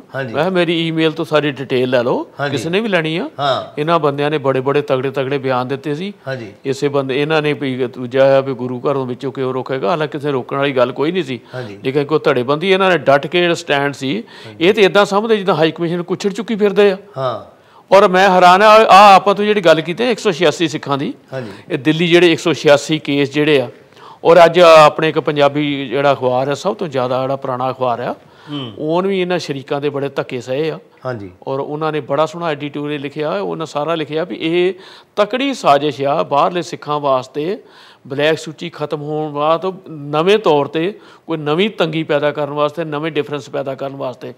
ਔਰ ਇਹ ਜਿਹੜੇ 186 ਆ ਉਹਦੇ ਬਾਰੇ ਵੀ ਪੂਰੇ ਸਫੇ ਦੀ ਰਿਪੋਰਟ ਆ ਵੀ ਦਿੱਲੀ ਦੇ ਉਹ ਸਿੱਖ ਉਹ ਔਰਤਾਂ ਉਹ ਪਰਿਵਾਰ ਉਹਨਾਂ ਨੇ ਖੁਸ਼ੀ ਜ਼ਾਹਰ ਕੀਤੀ ਵੀ ਬੜੇ ਸਾਲਾਂ ਬਾਅਦ ਇਹ ਕੇਸ ਜਿਹੜੇ ਹੁਣ ਰੀਓਪਨ ਹੋਏ ਆ। ਉਹ ਕਹਿੰਦੇ ਇਹ ਚ ਕੋਈ ਸਾਨੂੰ ਆਸ ਨਿਕਲੂਗੀ ਚਲੋ ਕੱਲ ਨੂੰ ਕੀ ਹੁੰਦਾ ਲੇਕਿਨ ਇਹ ਜਿਹੜੇ ਲੋਕ ਆ ਮੈਂ ਉਹ ਜਿਹੜੀ ਤੁਸੀਂ ਗੱਲ ਕਰਦੇ ਵਿਚਾਰੇ ਚੇਅਰਮੈਨ ਦੀ ਇਹ ਚੇਅਰਮੈਨ ਨੂੰ ਘੱਟੋ ਘੱਟ ਪਿਛਲੇ ਹਫ਼ਤੇ ਪੁੱਛਦੇ ਲੈਂਦੇ ਹਾਂਜੀ। ਵੀ ਤੁਸੀਂ ਪਿਛਲੇ ਭਾਈ ਸਾਹਿਬ ਤੁਸੀਂ ਪਿਛਲੇ ਜੁਲਾਈ ਦੇ ਵਿੱਚ 2016 ਹੇਜ਼ ਦੇ ਵਿਖੇ ਜੋ ਉਹਦੀ ਸਰੋਪਾ ਲੈ ਕੇ ਆਏ ਆ ਉਹ ਕਿਹੜੀ ਵਸੀਅਤ ਦੇ ਹਿਸਾਬ ਨਾਲ ਤੁਸੀਂ ਸਰੋਪਾ ਲਾਏ? ਕਿਹੜੀ ਨੇੜਤਾ ਨਾਲ ਲੈ ਕੇ ਆਏ ਆ? ਅੱਜ ਉਹ ਨੇੜਤਾ ਤੁਹਾਡੀ ਟੁੱਟੀ ਕਿੱਦਾਂ ਆ? ਹਾਂਜੀ। ਕੋਈ ਤੇ ਭੇਦ ਹੋਣਾ ਚਾਹੀਦਾ ਹੈ ਨਾ ਦੇਖੋ ਉਸ ਦੇ ਬਾਅਦ ਇੱਕ ਐਪਲੀਕੇਸ਼ਨ ਇਹ ਇਹਨੇ ਆਪ ਸਾਨੂੰ ਇੱਕ ਗੁਰਦੁਆਰੇ ਦੇ ਵਾਈਸ ਪ੍ਰਧਾਨ ਨੇ ਦੱਸਿਆ ਜੀ ਐਪਲੀਕੇਸ਼ਨ ਦਿੱਤੀ ਇਹਨੇ ਮੇਰਾ ਪਾਸਪੋਰਟ ਦਿਓ ਹਾਂ। ਉਸੇ ਗਵਰਨਮੈਂਟ ਕੋਈ ਪਾਸਪੋਰਟ ਮੰਗਦਾ। ਉਸੇ ਗਵਰਨਮੈਂਟ ਨੂੰ ਕਹਿੰਦਾ ਬਾਈਕਾਟ ਕਰੋ। ਇਹ ਤੇ ਹੁਣ ਜਿਹੜੇ ਸਾਥੀ ਆ ਨਾ ਜਿਹੜੇ ਸਾਥੀ ਇਹਨੂੰ ਫਾਲੋ ਕਰਦੇ ਸੀ ਪਿਛਲੇ ਹਫ਼ਤੇ ਗੁਰਦੁਆਰੇ ਬੈਠੇ ਜੀ ਕੋਈ ਸਾਡੇ ਕਈ ਵਾਰੀ ਇਹ ਵੀ ਗੱਲ ਆਉਂਦੀ ਆ ਅੱਜ ਮੈਂ ਕਿਸੇ ਇੱਕ ਜਥੇਬੰਦੀ ਨਾਲ ਗੱਲ ਕਰਦਾ ਸੀ ਤੇ ਉਹ ਕਹਿੰਦੇ ਜੀ ਤੁਸੀਂ ਕਿਤੇ ਬਹਿ ਕੇ ਅਸੀਂ ਇਹਨਾਂ ਨੂੰ ਖੁੱਲਾ ਸੱਦਾ ਰੱਖਿਆ। ਹਾਂਜੀ। ਇਹ ਗੁਰਦੁਆਰੇ ਮੇਰੀ ਪੀਰੀ ਜਦੋਂ ਮਰਜ਼ੀ ਆ ਜਾਣ। ਹਾਂਜੀ। ਇਹ ਸਾਡੇ ਨਾਲ ਸਿੰਘ ਸਭਾ ਗੁਰਦੁਆਰੇ ਜਿੱਥੇ ਕਿਤੇ ਬਹਿ ਜਿੱਥੇ ਇਹਨਾਂ ਨੇ ਮੀਟਿੰਗ ਰੱਖਣੀ ਉੱਥੇ ਬਹਿ ਜਾਣ। ਹਾਂਜੀ। ਇਹ ਇੱਥੇ ਡਿਬੇਟ ਤੇ ਆ ਜਾਣ। ਹਾਂਜੀ। ਇਹ ਸਾਡੇ ਨਾਲ ਸਿੱਧੇ ਤੌਰ ਤੇ ਪੰਥਕ ਤੌਰ ਤੇ ਇੱਕ ਸਮਝੌਤੇ ਦੇ ਤੌਰ ਤੇ ਬਹਿ ਕੇ ਗੱਲ ਕਰਨ ਵੀ ਕਿਹੜੀ ਨੀਤੀ ਆ ਤੇ ਕਿੱਥੋਂ। ਅਸੀਂ ਗੱਲ ਕਰਦੇ ਡਿਟੇਲ ਦੇ ਤੌਰ ਤੇ ਡਿਬੇਟ ਦੇ ਤੌਰ ਤੇ ਵੀ ਸਿੱਖ ਕੌਮ ਦਾ ਕਿਸੇ ਖੇਤਰ ਦੇ ਵਿੱਚ ਕਿਸੇ ਗਵਾਂਢੀ ਏਜੰਸੀਆਂ ਦੇ ਹੱਥ ਚੜ ਕੇ। ਦੇਖੋ ਇਹ ਬੜੀ ਖਤਰਨਾਕ ਲੜਾਈ ਹੁੰਦੀ ਆ। ਜਦੋਂ ਬਾਹਰੋਂ ਤੁਸੀਂ ਆਪਣੇ ਕਿਸੇ ਬੰਦੇ ਦਾ ਭਲਾ ਕਰਨਾ ਚਾਹੁੰਦੇ ਨਾ ਤੇ ਬਾਹਰਲੇ ਬੰਦੇ ਤੁਹਾਨੂੰ ਆਪਣੇ ਹੱਥਾਂ ਤੇ ਲੈ ਕੇ ਅੱਗੇ ਅਸੀਂ ਪੰਜਾਬ ਦੇ ਪੁੱਤ ਮਰਦੇ ਦੇਖੇ ਆ। ਔਰ ਤਕਰੀਬਨ ਹੈਗਾ ਵੀ ਕਈਆਂ ਏਜੰਸੀਆਂ ਨੇ ਇਹੀ ਠੇਕਾ ਲਿਆ ਆ ਵੀ ਸਿੱਖ ਟਾਵਾਂ ਟਾਵਾਂ ਮਰਦਾ ਰਵੇ। ਉਹਨਾਂ ਦੀ ਵੀ ਕੰਮ ਚੱਲਦਾ ਰਹਿੰਦਾ ਤੇ ਇਹਦੇ ਲੋਕਾਂ ਦੀ ਦੁਕਾਨਦਾਰੀ ਚੱਲੀ ਜਾਂਦੀ ਰਹਿੰਦੀ ਆ। ਮੈਂ ਜਿਹੜੀ ਅਖੀਰ ਗੱਲ ਕਰਨ ਲੱਗਾ ਕੈਨੇਡਾ ਦੇ ਵਿੱਚੋਂ ਇਹ ਜਿਹੜੀ ਗੱਲ ਚੱਲੀ ਇਸ ਵੇਲੇ ਸਭ ਤੋਂ ਜ਼ਿਆਦਾ ਆਬਾਦੀ ਸਿੱਖਾਂ ਦੀ ਕੈਨੇਡਾ ਦੇ ਵਿੱਚ ਆ। ਉਹ ਕੈਨੇਡਾ ਦੇ ਰਿਟਾਇਰਡ ਬੰਦੇ ਜਿਹੜੇ ਆ 6-6 ਮਹੀਨੇ ਜਾ ਕੇ 3-3 ਮਹੀਨੇ ਜਾ ਕੇ ਇੰਡੀਆ ਹੌਲੀਡੇ ਕੱਟਦੇ ਆ। ਔਰ ਤਕਰੀਬਨ ਇੱਕ ਨਹੀਂ ਹਜ਼ਾਰਾਂ ਦੀ ਤਾਦਾਦ ਦੇ ਵਿੱਚ ਤਕਰੀਬਨ ਉੱਥੇ ਜਾਂਦੇ ਲੋਕ। ਉਹ ਸਭ ਤੋਂ ਜ਼ਿਆਦਾ ਵੀਜ਼ੇ ਦੀਆਂ ਐਪਲੀਕੇਸ਼ਨਾਂ ਜਾਣ ਔਰ ਇਸ ਵੇਲੇ ਕੈਨੇਡਾ ਤੋਂ ਪੰਜਾਬ ਨੂੰ ਤੁਰਿਆ। ਮੈਨੂੰ ਇਹ ਨਹੀਂ ਸਮਝ ਆਉਂਦੀ ਇੱਕ ਹੁਣ ਆ ਜਿਹੜਾ ਮੋਨਾਕੋ ਨਾ ਇਹਨਾਂ ਨੂੰ ਇੱਕ ਲੀਡਰ ਮਿਲ ਗਿਆ। ਇਹ ਸਾਡੇ ਅੱਧੀ ਦਰਜਨ ਪੁਰਾਣੇ ਆ ਖਾਲਿਸਤਾਨੀਆਂ ਨੂੰ। ਖਾਲਿਸਤਾਨੀ ਤੇ ਅਸੀਂ ਵੀ ਹੈਗੇ ਆ ਪਰ ਇਹ ਹੁਣ ਜਿਹੜੀ ਇਹਨਾਂ ਨੇ ਨੀਤੀ ਐਸੀ ਬਣਾ ਲਈ ਆ ਲਾਗਲੇ ਮੁਲਕ ਜਾ ਕੇ ਉੱਥੇ ਬਹਿਣਾ ਆ ਉੱਥੇ ਰੋਟੀ ਪਾਣੀ ਖਾਣਾ ਆ। ਔਰ ਇਹ ਜਿਹੜਾ ਬੰਦਾ ਆ ਇਹ ਤਕਰੀਬਨ ਹੈਗਾ ਸਿੱਖਾਂ ਦੇ ਹਾਲਾਤ ਦੇ ਵਿੱਚ 2020 ਦਾ ਫਾਰਮੂਲਾ ਆ ਗਿਆ ਜੀ। ਸਾਈਨਾ ਨਾਲ ਜੇ ਮੁਲਕ ਬਣ ਜਾਂਦੇ ਆ। ਔਰ ਹਰ ਦਿਨ ਇਹਨਾਂ ਦਾ ਕੰਮ ਇਹ ਹੈਗਾ ਹੁਣ ਕੈਨੇਡਾ ਦੇ ਹਾਲਾਤ ਇਹਨਾਂ ਨੇ ਟੋਟਲੀ ਤੌਰ ਤੇ ਸਿੱਖਾਂ ਦੇ ਖਿਲਾਫ ਖਿਲਾਫ ਕਰਨ ਵਾਸਤੇ ਖਰਾਬ ਕਰਨ ਵਾਸਤੇ ਇਹਨਾਂ ਨੇ ਇੰਡੀਅਨ ਐਮਬੈਸੀ ਨਾਲੋਂ ਉਹਨਾਂ ਲੋਕਾਂ ਨੂੰ ਤੋੜਨਾ ਸ਼ੁਰੂ ਕੀਤਾ ਆ ਕਿ ਤਾਂ ਕਿ ਇਹ ਲੋਕ ਪੰਜਾਬ ਨਾਲੋਂ ਦੂਰ ਇਹ ਆਪ ਤੇ ਪੰਜਾਬ ਤੋਂ ਦੂਰ ਹੋ ਗਏ ਆ ਨਹੀਂ ਜਾਣਾ ਚਾਹੁੰਦੇ ਇਹਨਾਂ ਦੀ ਮਰਜ਼ੀ ਆ ਇਹ ਚਾਰ ਪੰਜ ਬੰਦੇ ਆ। ਲੇਕਿਨ ਆਮ ਤੌਰ ਤੇ ਜਿੰਨੇ ਸਾਲੇ ਖਾਲਿਸਤਾਨੀ ਸਾਡੇ ਸੀ ਸਾਡੇ ਖਾਲਿਸਤਾਨੀ ਜਿਹੜੇ ਸਾਰੇ ਸੀ, ਉਹ ਤਕਰੀਬਨ ਤਕਰੀਬਨ 135 ਦੀ ਲਿਸਟ ਦੇ ਵਿੱਚੋਂ ਇਹਨਾਂ ਕੁਝ ਬੰਦਿਆਂ ਤੋਂ ਬਿਨਾਂ ਸਾਰੇ ਪਿਛਲੇ 2016 ਦੀ ਇਲੈਕਸ਼ਨ 'ਚ ਹਿੱਸਾ ਲੈਂਦੇ ਰਹੇ ਆ। ਪਰ ਮਸਲਾ ਇਹ ਬਣਦਾ ਵੀ ਆਇਆ ਇਹਨਾਂ ਦਾ ਜਿਹੜੀ ਇਹ ਆਦਤ ਆ, ਇਹ ਸਿੱਖ ਕੌਮ ਦਾ ਜਿੱਦਾਂ ਆਪਣੇ ਦਲਗੀਰ ਸਾਹਿਬ ਕਹਿ ਗਏ ਆ, ਪਹਿਲੇ ਕਰ ਰਹਿ ਗਏ ਆ, ਪੰਜਾਬ ਦੇ ਨਾਲ ਤੇ ਜਿਹੜਾ ਬੰਦਾ ਉੱਥੇ ਜਾ ਕੇ ਜੁੜ ਕੇ ਪੰਜਾਬ ਦੀ ਗੱਲ ਕਰੂਗਾ, ਉਹ ਪੰਜਾਬ ਦੇ ਨਾਲ ਜੁੜ ਸਕਦਾ ਆ। ਜਿਹੜਾ ਬੰਦਾ ਬਾਹਰੋਂ ਪੰਜਾਬ ਦੀ ਖਬਰ ਵੇਚ ਕੇ ਖਾਣੀ ਚਾਹੁੰਦਾ ਆ ਖਬਰ ਦੇਖ ਕੇ ਉਹਨੂੰ ਕੈਸ਼ ਕਰਨਾ ਚਾਹੁੰਦਾ ਆ ਇਹ ਸਿਆਸਤ ਜਿਹੜੀ ਪੰਜਾਬ ਦੇ ਲੋਕਾਂ ਦੇ ਨਾਲ ਸਿੱਖਾਂ ਦੇ ਨਾਲ ਨਹੀਂ ਚੱਲ ਸਕਦੀ ਅਸੀਂ ਇਹਨੂੰ ਚੱਲਦੀ ਦੇਖ ਕੇ ਚੁੱਪ ਨਹੀਂ ਰਹਿ ਸਕਦੇ। ਹਾਂ ਸਾਡੇ ਨਾਲ ਕਿਤੇ ਬਹਿਣ ਪੰਥਕ ਤੌਰ ਤੇ ਬਹਿਣ ਪੰਥਕ ਜਥੇਬੰਦੀਆਂ ਅਸੀਂ ਆ ਇਹ ਵੀ ਪੰਥਕ ਜਥੇਬੰਦੀਆਂ ਆ ਸਾਡੇ ਕੋਲ ਨੀਤੀ ਘੜ ਲੈਣ। ਲੇਕਿਨ ਜੇ ਉਸ ਨੀਤੀ ਦੇ ਵਿੱਚ ਅਸੀਂ ਪੁੱਛਾਂਗੇ ਵੀ ਇਹ ਬੰਦੇ ਜੋ ਬਿਆਨ ਦਿੰਦੇ ਆ ਇਹਨਾਂ 2016 ਦੇ ਵਿੱਚ ਡਿਪਲੋਮੇਟਾਂ ਦੇ ਵਿੱਚ ਬਹਿ ਕੇ ਉਸ ਸਟੇਜ ਤੇ ਬਹਿ ਕੇ ਸਰੂਪੇ ਕਿਉਂ ਲਏ ਆ? ਹੂੰ। ਕਿਉਂਕਿ ਬਾਕੀ ਜਥੇਬੰਦੀਆਂ ਵਿਚਰਦੀਆਂ ਆ। ਨੇ ਬਲਸਾ ਇਹ ਗੱਲ ਹੈ ਜਿਹੜੇ ਇਹਨਾਂ ਦੇ ਸਾਥੀ ਨੇ ਉਹ ਤਾਂ ਅੱਜ ਵੀ ਅੱਧੇ ਪੰਜਾਬ ਤੁਰੇ ਫਿਰਦੇ ਆ। ਨਾ ਜੀ ਉਹ ਮੇਰਾ ਜੇ ਜੇ ਇਹਨਾਂ ਦਾ ਬਾਈਕਾਟ ਹੀ ਕਰਨਾ ਤੇ ਇਹ ਪਹਿਲੇ ਆਪਣੇ ਸਾਥੀਆਂ ਨੂੰ ਦਵਾਸ ਮੰਗਾ ਲੈਣ। ਇਹ ਘੱਟੋ ਘੱਟ ਉਹਨਾਂ ਨੂੰ ਕਹਿਣ ਵੀ ਤੁਸੀਂ ਪੰਜਾਬ ਜਾਣਾ ਬੰਦ ਕਰੋ। ਇਹਨਾਂ ਦਾ ਕਹਿਣਾ ਚਾਹੀਦਾ ਨਾ ਇਹਨਾਂ ਨੂੰ। ਹਾਂ ਉਹਨਾਂ ਨੂੰ ਬੰਦ ਕਰਨ। ਬੰਦ ਕਰ ਉਹਨਾਂ ਨੂੰ। ਉਹਨਾਂ ਨੂੰ ਕਹਿਣ ਬਾਈਕਾਟ ਜੇ ਤੁਸੀਂ ਵੀ ਆਓ ਭਈ। ਪਰ ਉਹ ਤੇ ਵੀਜ਼ੇ ਲੈ ਕੇ ਉੱਥੇ ਜਾ ਕੇ ਟੌਰ ਨਾ ਮਾਰਦੇ ਆ। ਗੱਪਾਂ। ਠੇਕੇਦਾਰ ਸਾਹਿਬ ਮੈਂ ਉੱਥੇ ਜਾ ਕੇ ਅਗਲਿਆਂ ਨੇ ਆਪਣੇ ਧੀ ਪੁੱਤ ਵਿਆਹੁਣੇ ਆ। ਹਾਂਜੀ। ਔਰ ਉਹ ਇਹ ਬੰਦਾ ਇੱਕ ਜਾਂ ਦੋ ਇਹ ਬਿਆਨ ਦੇ ਕੇ ਉਹਨਾਂ ਨੂੰ ਖੱਜਲ ਖੁਆਰੀ ਚ ਪਾਉਂਦੇ ਆ। ਹਾਂਜੀ। ਮਿਡਲੈਂਡ ਦੇ ਵਿੱਚ ਗੁਰਦੁਆਰਿਆਂ ਦੇ ਪ੍ਰਧਾਨ ਜਿਹੜੇ ਆ ਉਹਨਾਂ ਦੇ ਪਰਿਵਾਰਾਂ ਦੀਆਂ ਉੱਥੇ ਸ਼ਾਦੀਆਂ ਹੁੰਦੀਆਂ ਨਿਆਣਿਆਂ ਦੀਆਂ। ਉਹ ਬੱਚਿਆਂ ਨੂੰ ਉੱਥੇ ਵਿਆਹੁੰਦੇ ਆ ਬੱਚਿਆਂ ਨੂੰ ਵਿਆਹ ਕੇ ਬਾਅਦ ਰਿਸ਼ਤੇ ਨਾਤੇ ਕਰਦੇ ਆ। ਇਹੀ ਕੈਨੇਡਾ ਵਾਲਿਆਂ ਦਾ ਹਿਸਾਬ ਆ। ਲੇਕਿਨ ਇਹ ਜਿਹੜੇ ਜਿਹੜੇ ਬੰਦੇ ਨੇ ਪੰਜਾਬ ਜਾਣਾ ਹੀ ਨਹੀਂ ਪੰਜਾਬ ਦੇ ਵਿੱਚ ਦੀ ਵਿਚਰਨਾ ਹੀ ਨਹੀਂ। ਔਰ ਫਿਰ ਉੱਥੇ ਮੇਰਾ ਵੀ ਕੇਸ ਚ ਜੇਲ੍ਹਾਂ ਵਾਲੇ ਬੰਦਿਆਂ ਦੀ ਗੱਲ ਕਰਦੇ ਆ ਉੱਥੇ ਸਮਾਜ ਦੇ ਵਿੱਚ ਆਮ ਹਾਲਾਤ ਦੀ ਗੱਲ ਕਰਦੇ ਆ ਲੇਕਿਨ ਇਹਨਾਂ ਨੇ ਤੇ ਉਹਨਾਂ ਦੇ ਹਾਲਾਤਾਂ ਨਾਲੋਂ ਟੁੱਟ ਚੁੱਕੇ ਲੋਕ ਆ। ਇਹ ਪੰਜਾਬ ਤੋਂ ਦੂਰ ਹੋ ਚੁੱਕੇ ਲੋਕ ਆ। ਨੇ ਬਲਸਾ ਦੇਖੋ, ਜਿਹੜੀ ਆਜ਼ਾਦੀ ਦੀ ਲੜਾਈ ਇਹ ਆਪਾਂ ਲੜਦੇ ਆ ਜਾਂ ਇਹ ਇਹ ਲੜਨਾ ਚਾਹੁੰਦੇ ਆ ਉਹ ਲੜਾਈ ਤਾਂ ਪੰਜਾਬ 'ਚ ਲੋਕਾਂ ਨੂੰ ਤਿਆਰ ਕਰਨਾ ਚਾਹੀਦਾ ਇਹ ਥੋੜੀ ਆਪੇ ਪੰਜਾਬ ਨੂੰ ਤੋੜ ਦਿਓ। ਦੇਖੋ ਪੰਜਾਬ ਦੇ ਵਿੱਚ ਕਈ ਵਾਰੀ ਇਹ ਗੱਲ ਕਰਦੇ ਜੀ ਉੱਥੇ ਗੱਲ ਕਰਨ ਦੀ ਖੁੱਲ੍ਹ ਨਹੀਂ। ਉੱਥੇ ਪੰਥਕ ਸੰਸਥਾਵਾਂ ਆ ਹਾਂਜੀ। ਉੱਥੇ ਪਟੀਸ਼ਨਾਂ ਚੱਲਦੀਆਂ ਆ ਪਿੱਛੇ ਉਹਨਾਂ ਰਿਪੋਰਟ ਕੱਢੀ ਸੀ ਉੱਥੇ ਅੰਕੜੇ ਜਿਹੜੇ ਆ ਪਿਛਲੇ ਪੰਜਾਬ ਦੇ ਵਿੱਚ ਜੋ ਪੁਲਿਸ ਦੇ ਉੱਤੇ ਜਿਹੜੇ ਕੇਸ ਖੁੱਲੇ ਆ ਕਈਆਂ ਪੁਲਿਸ ਪੁਲਿਸ ਵਾਲੇ ਅਫਸਰਾਂ ਨੂੰ ਪੁਲਿਸ ਵਾਲੇ ਪੁਲਿਸ ਵਾਲੇ ਸਿਪਾਹੀਆਂ ਨੂੰ ਉਹਨਾਂ ਨੂੰ ਕੈਦਾਂ ਹੋ ਰਹੀਆਂ ਆ। ਕੋਰਟਾਂ ਦੇ ਵਿੱਚ ਤਕਰੀਬਨ ਉੱਥੇ ਵੀ ਕਈ ਸੈਂਕੜੇ ਕੇਸ ਜਿਹੜੇ ਆ ਰੂਟੀਨ ਦੇ ਵਿੱਚ ਚੱਲ ਰਹੇ ਆ ਵੀ ਕਿਹੜੇ ਕਿਹੜੇ ਪੁਲਿਸ ਵਾਲੇ ਪੁਲਿਸ ਵਾਲਿਆਂ ਨੇ ਆਪਣੀ ਅਥਾਰਟੀ ਮਿਸਯੂਜ਼ ਕਰਕੇ ਪੁਲਿਸ ਮੁਕਾਬਲੇ ਝੂਠੇ ਕੀਤੇ ਆ। ਉਹ ਵੀ ਐਸ ਸਰਕਾਰ ਦੇ ਸਮੇਂ 'ਚ ਹੋ ਰਹੇ ਆ। ਔਰ ਰੋਜ਼ ਡਿਟੇਲ ਪੇਪਰਾਂ ਦੇ ਵਿੱਚ ਆਉਂਦੀਆਂ ਆ ਉੱਥੇ ਕੇਸ ਲੜੇ ਜਾਂਦੇ ਰਹੇ ਆ। ਉੱਥੇ ਹੁਣ ਪੁਲਿਸ ਵਾਲਿਆਂ ਨੂੰ ਕਈਆਂ ਨੂੰ ਕੈਦਾਂ ਹੁੰਦੀਆਂ ਆ। ਆਪਣੇ ਆ ਕਮਿਸ਼ਨ ਬਣੇ ਆ ਖਾਰੜਾ ਕਮਿਸ਼ਨ ਬਣਿਆ ਆ ਹੋਰ ਹਿਊਮਨ ਰਾਈਟਸ ਕਮਿਸ਼ਨ ਬਣੇ ਆ। ਉਹ ਤਕਰੀਬਨ ਹੈਗਾ ਵੀ ਪਿੱਛੇ ਜੇ ਅੰਕੜਾ ਆਏ ਸੀ ਵੀ ਇਹ 8000 ਸਮਥਿੰਗ ਜਿਹੜੇ ਹੈਗਾ ਵੀ ਉੱਥੇ ਕੇਸ ਜਿਹੜੇ ਲਾਪਤਾ ਦੇ ਕੇਸ ਆ ਉਹਨਾਂ ਦੀ ਲਿਸਟ ਆਈ ਅੱਗੇ ਇਹ ਚੀਜ਼ਾਂ ਹੈ ਨਹੀਂ ਸੀ।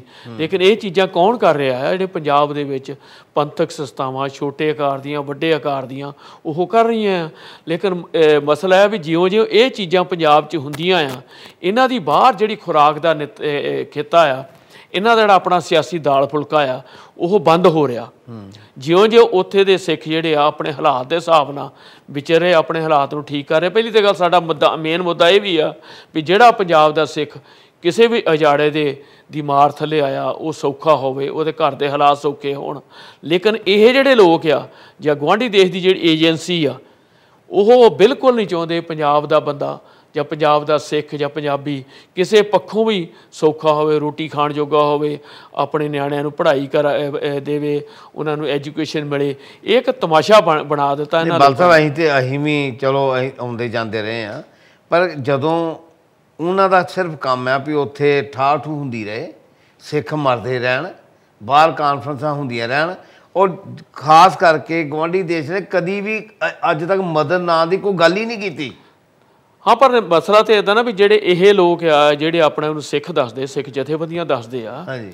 ਇਹਨਾਂ ਨੂੰ ਪੰਥਕ ਵਿਚਾਰਧਾਰਾ ਜਾਂ ਪੰਥ ਇਤਿਹਾਸ ਪੜ੍ਹਨਾ ਚਾਹੀਦਾ ਨਾ। ਹੁਣ ਜਦੋਂ ਤੁਸੀਂ ਗੁਰੂ ਅਰਜਨ ਦੇਵ ਜੀ ਦੀ ਸ਼ਹੀਦੀ ਦੀ ਗੱਲ ਕੀਤੀ ਗੁਰੂ ਆਪਣੇ ਛੇਵੇਂ ਪਾਤਸ਼ਾਹ ਤੇ ਗੁਰੂ ਹਰਗੋਬਿੰਦ ਸਾਹਿਬ ਦੀ ਗੱਲ ਕੀਤੀ ਸੀ ਹਾਂਜੀ। ਉਹਨਾਂ ਨੂੰ ਸਿੱਖਾਂ ਨੇ ਜਦੋਂ ਇਹਨੂੰ ਚੰਦੂ ਨੂੰ ਫੜਿਆ ਦਿੱਲੀੋਂ ਜਹਾਂਗੀਰ ਦਾ ਰਾਜ ਸੀ ਨਾ। ਹਾਂਜੀ। ਜਹਾਂਗੀਰ ਰੋਕ ਸਕਦਾ ਸੀ ਇਹਨਾਂ ਨੂੰ? ਉਹ ਮਿਨਿਸਟਰ ਸੀ ਪੰਜਾਬ ਦਾ ਉਹਨੂੰ ਉਹ ਦਿੱਤਾ। ਜਹਾਂਗੀਰ ਨੂੰ ਮਜਨੂ ਦੇ ਟਿੱਲੇ ਤੋਂ ਸਿੰਘਾਂ ਨੇ ਫੜਿਆ। ਹਾਂਜੀ। ਔਰ ਲਿਆ ਕੇ ਗੁਰੂ ਸਾਹਿਬ ਨੂੰ ਦਿੱਤਾ। ਗੁਰੂ ਸਾਹਿਬ ਕੁਰਕਸ਼ੇਤਰ ਗੁਰਦੁਆਰਾ ਸਿੰਘ ਆਪਣੇ ਸਿੰਘ ਸਭਾ ਗੁਰਦੁਆਰਾ। ਉੱਥੇ ਗੁਰੂ ਸਾਹਿਬ ਦੋ ਦਿਨ ਠਹਿਰੇ ਆ ਗੁਰੂ ਛੇਵੇਂ ਪਾਤਸ਼ਾਹ। ਹਾਂਜੀ। ਔਰ ਉੱਥੇ ਉਹਨੂੰ ਚੰਦੂ ਨੂੰ ਰੱਖਿਆ ਗਿਆ। ਉੱਥੋਂ ਬਾਅਦ ਲਾਹੌਰ ਨੂੰ ਚਾਲੇ ਪਾਏ ਲਾਹੌਰ ਲਿਆਂਦਾ ਗਿਆ ਆ। ਫਿਰ ਅਕਬਰ ਬਾਦਸ਼ਾਹ ਮੇਰੇ ਗੋਬਿੰਦਵਾਲ ਸਾਹਿਬ ਲੰਗਰ ਦੇ ਵਿੱਚੋਂ ਗੁਰੂ ਘਰ ਦੇ ਵਿੱਚੋਂ ਪ੍ਰਸ਼ਾਦਾ ਛਕ ਕੇ ਜਾਂਦਾ ਆ। ਇਹ ਕਿਹੜੇ ਕਿਹੜੇ ਰਾਜ ਭਾਗ ਦੇ ਬਾਈਕਾਟ ਦੀਆਂ ਗੱਲਾਂ ਕਰਦੇ ਆ? ਕਿਹੜੇ ਨਾਤੇ ਦੀਆਂ ਗੱਲਾਂ ਕਰਦੇ ਕਿਹੜੇ ਪੋਲੀਟੀਕਲ ਸਿਸਟਮ ਦੀਆਂ ਗੱਲਾਂ ਕਰਦੇ ਆ? ਔਰ ਇਹਨਾਂ ਨੂੰ ਮੇਰਾ ਵੀ ਆਪਣੇ ਤੌਰ ਤੇ ਇਹ ਕਿਹੜੀ ਅਕਲ ਨੂੰ ਲੈ ਕੇ ਕਿਹੜੇ ਸਮਾਜ ਦੇ ਵਿੱਚ ਦੀ ਵਿਚਰਨਾ ਚਾਹੁੰਦੇ ਆ? ਹੁਣ ਆ ਗੁਰਦੁਆਰਿਆਂ ਦੀ ਗੱਲ ਆਈ ਆ। ਆ ਚੇਅਰਮੈਨ ਨੇ ਕਹਿਤਾ ਜੀ ਇੱਥੇ ਸੈਂਕੜੇ ਗੁਰਦੁਆਰੇ ਆ। ਖੁਦ ਚੇਅਰਮੈਨ ਕਿਸੇ ਗੁਰਦੁਆਰੇ ਦਾ ਪ੍ਰਧਾਨ ਨਹੀਂਗਾ ਇਹਦਾ ਸਾਥੀ ਇਹ ਨਾਂ ਲੈ ਕੇ ਦੱਸੇ ਨਾ ਵੀ ਕਿਹੜੇ ਗੁਰਦੁਆਰੇ ਨੇ ਤਕਰੀਬਨ ਹੈਗਾ ਵੀ ਕਿਹੜੇ ਗੁਰਦੁਆਰੇ ਦੇ ਪ੍ਰਧਾਨ ਨੇ ਆ ਬਿਆਨ ਦਿੱਤਾ ਆ। ਉਹ ਗੁਰਦੁਆਰੇ ਦੇ ਪ੍ਰਧਾਨ ਅੱਗੇ ਹੋਣ ਅੱਗੇ ਹੋ ਕੇ ਬਿਆਨ ਦੇਣ ਵੀ ਅਸੀਂ ਬਾਈਕਾਟ ਕਿਹੜੇ ਹਾਲਾਤ ਨਾਲ ਕਰਦੇ ਆ ਅਸੀਂ ਵੀਜ਼ਾ ਲੈ ਕੇ ਵੀਜ਼ਾ ਲੈ ਕਿਉਂਕਿ ਸਿੱਖਾਂ ਲਈ ਤੇ ਵੀਜ਼ਾ ਜ਼ਰੂਰੀ ਆ ਨਾ ਜੇ ਪੰਜਾਬ ਨੂੰ ਜਾਣਾ ਆ। ਹੁਣ ਪੰਜਾਬ ਨੂੰ ਜਾਣ ਵਾਸਤੇ ਕਿਹੜਾ ਸਿੱਖ ਕਹਿੰਦਾ ਵੀ ਮੈਂ ਪੰਜਾਬ ਨਾ ਜਾਵਾਂ? ਕਿਹੜਾ ਸਿੱਖ ਚਾਹੁੰਦਾ ਵੀ ਮੈਂ ਹਰਮੰਦਰ ਸਾਹਿਬ ਮੱਥਾ ਟੇਕਾਂ ਨਾ ਨਹੀਂ ਜਿਹੜਾ? ਜਿਹੜਾ ਬਲ ਸਾਹਿਬ ਇਹ ਰੀਜਨ ਦੱਸਦੇ ਆ ਭਈ ਇੱਥੋਂ ਜੀ 5-6 ਨੌਜਵਾਨ ਗਏ, ਉਹ ਅਰੈਸਟ ਹੋ ਗਏ। ਦੇਖੋ, ਚਾਹੀਦਾ ਤੇ ਇਹ ਆ, ਵਧੀਆ ਬਰਿਸਟਰ ਸਲਿਸਟਰ ਉੱਥੇ ਕਰਨ, ਤਾਂ ਕਿ ਦੱਸਣ ਵੀ ਇਹ ਬੰਦੇ ਜਿਹੜੇ ਆ, ਉਹ ਇਲੀਗਲ ਅਰੈਸਟ ਹੋਏ ਆ। ਇਹਨਾਂ, ਦੇਖੋ, ਉੱਥੋਂ ਦਾ ਭਾਵੇਂ ਚੰਗਾ ਸਿਸਟਮ ਹੈ ਜਾਂ ਮਾੜਾ ਪਰ ਲੜਾਈ ਤਾਂ ਸਾਨੂੰ ਦੇਖੋ ਉਹਨਾਂ ਦੀ ਪੈਰਵਾਈ ਕਰਨ ਵਾਲੇ ਆਪਣੇ ਤਿੰਨ ਨੌਜਵਾਨ ਇੱਥੇ ਆਏ ਸੀ। ਅਸੀਂ ਉਹਨਾਂ ਨੂੰ ਘੰਟਾ ਟਾਈਮ ਦਿੱਤਾ। ਇਹ ਤੇ ਆਪਣੇ ਚੈਨਲ ਤੇ ਉਹਨਾਂ 2-2 ਮਿੰਟ ਟਾਈਮ ਦਿੰਦੇ। ਉਹਨਾਂ ਤਮਾਸ਼ਾ ਉਹ ਜਿੱਦਾਂ ਨਾ ਕਿ ਉਹ ਸਪੀਕਰ ਲਾਇਆ ਤੇ ਮੁੜ ਕੇ ਸਪੀਕਰ ਖਿੱਚ ਲਿਆ ਫੇਰ ਫੜ ਲਿਆ ਫੇਰ ਗੱਲ ਤੋੜ ਲਈ। ਅਸੀਂ ਉਹਨਾਂ ਨੂੰ ਇੱਥੇ ਖੁੱਲ ਕੇ ਟਾਈਮ ਦਿੱਤਾ ਆ। ਉਹ ਜਿੱਦਣ ਫੇਰ ਆਉਣ ਜਿਹੜਾ ਵੀ ਉਹਨਾਂ ਸਿੰਘਾਂ ਦੀ ਪਿੱਛੇ ਦੀ ਜਿਹੜਾ ਕੋਈ ਜੇਲ੍ਹ 'ਚ ਬੰਦਾ ਫੜਿਆ ਉਹਦੀ ਕੰਪੇਅਰ ਕਰਨੀ ਚਾਹੁੰਦੇ ਆ। ਤੇ ਉਹ ਜਦੋਂ ਮਰਜ਼ੀ ਇੱਥੇ ਆਉਣ ਖੁੱਲ ਕੇ ਗੱਲ ਕਰਨ। ਅਸੀਂ ਖੁੱਲਾ ਉਹਨਾਂ ਟਾਈਮ ਦਿੱਤਾ। ਉਹਨਾਂ ਨੇ ਖੁੱਲ ਕੇ ਗੱਲ ਕੀਤੀ ਆ। ਪਬਲਿਕ ਸਾਹਮਣੇ ਇੱਕ ਘੰਟੇ 'ਚ ਉਹਨਾਂ ਨੇ ਰਾਜੀ ਵੀ ਡਿਟੇਲ ਦਿੱਤੀ ਆ। ਅਸੀਂ ਉਹਨਾਂ ਡਿਟੇਲ ਦੇ ਨਾਲ ਸਹਿਮਤ ਆ ਉਹਨਾਂ ਸੋਹਣੀ ਡਿਟੇਲ ਦਿੱਤੀ ਆ। ਲੇਕਿਨ ਇਹ ਤੇ ਮੇਰਾ ਵੀ ਤਕਰੀਬਨ ਉਸ ਚੀਜ਼ ਨੂੰ ਹੀ ਆਪਣੇ ਤੌਰ ਤੇ ਕੈਸ਼ ਕਰਦੇ ਆ। ਉਹਨਾਂ ਦੇ ਉਹਨਾਂ ਉਹਨਾਂ- ਉਸ ਕੰਪੇਨ ਗਰੁੱਪ ਦੇ ਨਾਲ ਇਹਨਾਂ ਦਾ ਇਦਾਂ ਦਾ ਸਹਿਯੋਗ ਹੈ ਨਹੀਂਗਾ ਲੇਕਿਨ ਇਹਨਾਂ ਦਾ ਆਪਣਾ ਖਬਰ ਦੇ ਤੌਰ ਤੇ। ਇਹ ਆਪਣੇ ਚੇਅਰਮੈਨ ਸਾਹਿਬ ਬਾਰੇ ਇਹਨਾਂ ਨੇ ਦੋ ਤਿੰਨ ਸਟੇਟਮੈਂਟ ਦਿੱਤੇ ਦੀਆਂ ਮੈਂ ਕਮੈਂਟ ਕੀਤੇ ਸੀ ਕੁਝ ਇਹਨਾਂ ਨੇ ਪਿੱਟ ਕੇ ਮੇਰੇ ਕਮੈਂਟਾਂ ਬਾਰੇ ਬੜਾ ਪਿੱਟੇ ਮੀਡੀਆ ਨੂੰ ਵੀ ਮੇਰੇ ਬਾਰੇ ਸਰੂਪੇ ਬਾਰੇ ਗੱਲ ਕਿਉਂ ਲਿਖੀ ਆ? ਮੇਰੇ ਬਾਰੇ ਕੁਲਦੀਪ ਨਈਅਰ ਬਾਰੇ ਗੱਲ ਕਿਉਂ ਲਿਖੀ ਆ? ਮੇਰੇ ਬਾਰੇ ਆਹ ਆਪਣੇ ਤੁਰਲੋਚਨ ਸੋਹਣੇ ਸਾਫਕਾ ਰਾਜ ਸਭਾ ਦੇ ਮੈਂਬਰ ਆ। ਉਹਨਾਂ ਨੂੰ ਸਰੂਪਾ ਦੇ ਕੇ ਇਹਨਾਂ ਨੇ ਸੱਚੋ ਮੈਨੂੰ photo ਯਾਦ ਆ ਗਿਆ ਵੀ ਇੱਕ ਬੰਨੇ ਤੇ ਕਹਿੰਦੇ ਉਹਨਾਂ ਨੂੰ ਡਿਪਲੋਮੈਟਿਕ ਨੂੰ ਵੜ ਨਹੀਂ ਦੇਣਾ ਤੇ ਆਪ ਉਹਨਾਂ ਨੂੰ ਸਰੋਪੇ ਦਿੰਦੇ ਆ। ਇਹਨਾਂ ਨੇ ਭਾਈ ਤੁਰਲੋਚਨ ਸੋਹਣੀ ਉਹ ਮੇਰਾ ਮਾਈਨੋਰਿਟੀ ਕਮਿਸ਼ਨ ਦੇ ਹਿੰਦੁਸਤਾਨ ਸਰਕਾਰ ਦੇ। ਚੇਅਰਮੈਨ ਰਹੇ ਆ। ਔਰ ਰਾਜ ਸਭਾ ਦੇ ਉਹ ਸਾਬਕਾ ਮੈਂਬਰ ਰਹੇ ਆ। ਇਹਨਾਂ ਨੇ ਆਪ ਮੈਂ ਇਹ ਨਹੀਂ ਕਹਿੰਦਾ ਵੀ ਇਹਨਾਂ ਨੂੰ ਗੱਲ ਨਹੀਂ ਕਰਨੀ ਚਾਹੀਦੀ। ਮੈਂ ਇਹ ਗੱਲ ਕਰਨੀ ਚਾਹੀਦੀ ਪਬਲਿਕ ਦੇ ਸਾਹਮਣੇ ਰੱਖਿਆ ਜਾਵੇ ਵੀ ਇਹ ਦੋ ਰੂਪ ਕਿਉਂ ਰੱਖਦੇ ਆ। ਹਾਂਜੀ। ਦੇਖੋ ਦੋ ਸਾਡਾ ਰੂਪ ਤੇ ਸਿੱਧਾ ਆ ਵੀ ਪੰਜਾਬ ਦੇ ਅਸੀਂ ਹੇਤੂ ਆ। ਪੰਜਾਬ ਉਜੜੇ ਪੰਜਾਬ ਨੂੰ ਅਸੀਂ ਵਸਾਉਣਾ ਚਾਹੁੰਦੇ ਆ ਅਸੀਂ ਉਹਨਾਂ ਲੋਕਾਂ ਦੀ ਮਦਦ ਕਰਨਾ ਚਾਹੁੰਦੇ ਆ ਜਿਹੜੇ ਖਾੜਕੂ ਲਹਿਰ ਦੇ ਦੌਰਾਨ ਜਾਂ ਪੁਲਿਸ ਮੁਕਾਬਲਿਆਂ ਦੇ ਦੌਰਾਨ ਜਾਂ ਘੱਲੂ ਕਰਨ ਦੌਰਾਨ ਜਿਹੜੇ ਲੋਕ ਇਸ ਚੀਜ਼ ਦਾ ਸ਼ਿਕਾਰ ਹੋਏ ਆ ਜਿਨ੍ਹਾਂ ਨੂੰ ਕੋਈ ਮਾਲੀ ਮਦਦ ਚਾਹੀਦੀ ਆ ਜਿਨ੍ਹਾਂ ਨੂੰ ਕੋਈ ਹੌਸਲਾ ਚਾਹੀਦਾ ਆ ਜਿਨ੍ਹਾਂ ਨੂੰ ਕੋਈ ਅਸਾਰ ਚਾਹੀਦੇ ਆ ਵੀ ਉਹ ਆਪਣੀ ਜ਼ਿੰਦਗੀ ਜਿਹੜੀ ਆ ਆਪਣੇ ਧੀਆਂ ਪੁੱਤਾਂ ਦੀ ਰੋਜ਼ਗਾਰ ਜਾਂ ਉਹਨਾਂ ਦੀ ਪੜ੍ਹਾਈ ਦਾ ਜਿਹੜਾ ਵਸੀਲਾ ਬਣਾ ਸਕਣ। ਲੇਕਿਨ ਜੀ ਇਹ ਜੇ ਇਹਨਾਂ ਨੇ ਨਹੀਂ ਕੁਝ ਕਰਨਾ, ਇਹ ਖੇਤੋਂ ਚ ਲਾਂਭੇ ਹੋਣ। ਇਹਨਾਂ ਨੂੰ ਕੀ ਲੋੜ ਆ ਭਾਈ ਤਰਲੋਚਨ ਸਿੰਘ ਸਰੂਪੇ ਦੇਣ ਦੀ? ਇਹਨਾਂ ਨੂੰ ਕੀ ਲੋੜ ਆ ਡਿਪਲੋਮੈਟਾਂ ਦੇ ਬਰਾਬਰ ਉਹਨਾਂ ਸਟੇਜਾਂ ਤੇ ਬਹਿ ਕੇ ਆਪ ਸਰੂਪੇ ਲੈਣ ਦੀ? ਫਿਰ ਇਹ ਇਹ ਜ- ਇਹ ਜਿਹੜੀ ਪਿਛਲੇ ਹਫ਼ਤੇ, ਇਹ ਸਾਰੀ ਇਹਨਾਂ ਨੂੰ ਵਾਰਤਾ ਦੱਸ ਦੇਣੀ ਚਾਹੀਦੀ ਸੀ। ਸਾਨੂੰ ਕਹਿਣ ਦੀ ਲੋੜ ਨਾ ਪੈਂਦੀ। ਬਿਲਕੁਲ। ਵੀ ਇਹ ਜਿਹੜੇ ਨਾਲ ਦੀਆਂ ਦੂਜੀਆਂ ਜਥੇਬੰਦੀਆਂ ਵਾਲੇ ਸਿੱਖ ਉਹਨਾਂ ਦਾ ਸਤਿਕਾਰ ਕਰਦੇ ਅਸੀਂ। ਉਹਨਾਂ ਦੇ ਸਾਹਮਣੇ ਇਹ ਚੀਜ਼ ਪਿਕਚਰ ਦੱਸ ਦਿੰਦੇ ਵੀ ਮੈਂ ਨਹੀਂ ਜਿਹੜੀ ਉਹ ਮੀਟਿੰਗ ਵਿੱਚ ਬੰਦੇ ਬੈਠੇ ਆ ਉਹਨਾਂ ਚੋਂ ਕਈ ਇੰਡੀਆ ਜਾਂਦੇ ਆ ਜੀ। ਜਾਣਾ ਚਾਹੀਦਾ ਉਹਨਾਂ ਨੂੰ। ਜਾਣਾ ਵੀ ਚਾਹੀਦਾ। ਉਹਨਾਂ ਨੇ ਇਹ ਵੀ ਕਿਹਾ ਵਾ ਵੀ ਤੁਸੀਂ ਬਹਿ ਕੇ ਡਿਸਕਸ ਕਰੋ ਜੀ ਵੀ ਤੁਸੀਂ ਪਹਿਲੇ ਤਾਂ ਬਿਆਨ ਦੇ ਦਿੱਤਾ। ਤੇ ਹੁਣ ਤੁਸੀਂ ਬਿਆਨ ਦੀ ਪੁਸ਼ਟੀ ਕਰਾਉਣ ਦੇ ਹੋ ਐਫਐਸਓ ਦੇ ਬੰਦਿਆਂ ਕੋਲੋਂ। ਬਲੈਕਮੇਲ ਸੀ ਨਾ। ਬਲੈਕਮੇਲ ਚੇਅਰਮੈਨ ਨੇ। ਬਿਆਨ ਦੇ ਦਿੱਤਾ। ਐਫਐਸਓ ਦਾ ਕੋਈ ਵੀ ਬੰਦਾ ਇਹਨੇ ਜੋਗਾ ਨਹੀਂਗਾ ਕਿ ਉਹ ਡਿਸਕਸ ਕਰੇ ਵੀ ਇਹ ਦੱਸ ਕੀ ਕਾਰਨ ਆ ਵੀ ਇਹ ਨਵਾਂ ਮਤਾ ਪਾਸ ਕਰਨ ਦੀ ਲੋੜ ਪਈ। ਕਿਸੇ ਨੇ ਪੁੱਛਿਆ। ਵਾਹਿਗੁਰੂ ਜੀ ਕਾ ਖਾਲਸਾ ਤੇ ਵਾਹਿਗੁਰੂ ਜੀ ਕੀ ਕਿਉਂਕਿ ਕਿਉਂਕਿ ਇੱਕ ਬੰਦੇ ਨੇ ਇੱਕ ਚੇਅਰਮੈਨ ਨੇ ਬਿਆਨ ਦਿੱਤਾ। ਉਸ ਬਿਆਨ ਉਹ ਜਾ ਕੇ ਫਿਰ ਇਹਨਾਂ ਕੋ ਬਲੈਕਮੇਲ ਕੀਤੀ ਵੀ ਮੇਰਾ ਬਿਆਨ ਹੈ ਹੁਣ ਤੁਸੀਂ ਮੇਰੀ ਇੱਜ਼ਤ ਇਹ ਰੱਖ ਸਟੈਂਪ ਲਓ। ਲਾ ਦਿਓ। ਜਾਂ ਮੇਰੀ ਇੱਜ਼ਤ ਰੱਖੋ ਜਾਂ ਤੇ ਸਟੈਂਪ ਲਾਓ ਲੇਕਿਨ ਇਹਨਾਂ 'ਚ ਇਹ ਪੰਥਕ ਜਥੇਬੰਦੀਆਂ ਦੀ ਜ਼ਿੰਮੇਵਾਰੀ ਬਣਦੀ ਹੈ ਨਾ। ਬਿਲਕੁਲ। ਤੇ ਫਿਰ ਜਾਂ ਫਿਰ ਤੋਂ ਕਹਿੰਦੇ ਵੀ ਉਹ ਮਾਫੀ ਮੰਗ ਸਕਦਾ ਸੀ। ਕਿ ਮੈਂ ਤੇ ਵੀ ਸਹਿਜ ਸੁਭਾ ਉੱਥੇ ਚਲਾ ਗਿਆ। ਡਿਸਗਾਈਜ਼ ਹੋ ਕੇ ਭੇਸ ਬਦਲਾ ਕੇ ਵੀ ਟੀਵੀ ਸਟੇਸ਼ਨ ਦਾ ਚੇਅਰਮੈਨ ਬਣ ਕੇ ਪ੍ਰੈਜ਼ੈਂਟਰ ਬਣ ਕੇ ਵੀ ਮੈਨੂੰ ਬਾਬਾ ਜੀ ਨੇ ਸਰੋਪਾ ਦੇ ਦਿੱਤਾ। ਹੁਣ ਫਿਰ ਆ ਜਾਂ ਉਹ ਸਰੋਪਾ ਲੁਕਿਆ ਛੁਪਿਆ ਨਹੀਂ ਰਾ ਆ ਪੰਜਾਬੀ ਜਿਹੜੇ ਵੱਡੇ ਅਖਬਾਰ ਨੇ ਜਿਹਨਾਂ 'ਚ ਐਡੀਟੋਰੀਅਲ ਦਿੱਤਾ ਬਹੁਤ ਤਕੜਾ ਤਕੜੀ ਮਤ ਦਿੱਤੀ ਇਹਨਾਂ ਨੂੰ। ਹਾਂ। ਕਹਿੰਦੇ ਤੁਸੀਂ ਬਹੁਤ ਪੁੱਠਾ ਰਾਹ ਅਪਣਾ ਰਹੇ ਆ। ਉਹ ਤੁਸੀਂ ਖਡਾਉਣੇ ਬਣ ਰਹੇ ਆ ਬਾਹਰਲੇ ਮੁਲਕਾਂ ਦੇ ਕਿਸੇ ਏਜੰਸੀਆਂ ਦੇ। ਐਡੀਟੋਰੀਅਲ 'ਚ ਲਿਖਿਆ। ਔਰ ਉਹਨਾਂ ਨੇ ਉਹ ਇਹ ਉਹ ਉੱਥੇ ਫੋਟੋ ਛਪੀ ਆ। ਉਹਨਾਂ ਦੱਸ ਸਕਦੇ ਸੀ ਵੀ ਮੇਰੀ ਫੋਟੋ ਵੀ ਗਲਤੀ ਨਾਲ ਛਪ ਗਈ ਹੈ ਇੱਕ ਛੋਟੀ ਜੀ ਬ੍ਰੇਕ ਤੋਂ ਬਾਅਦ ਫਿਰ ਹਾਜ਼ਰ ਹੁੰਦੇ ਹਾਂ ਜੀ।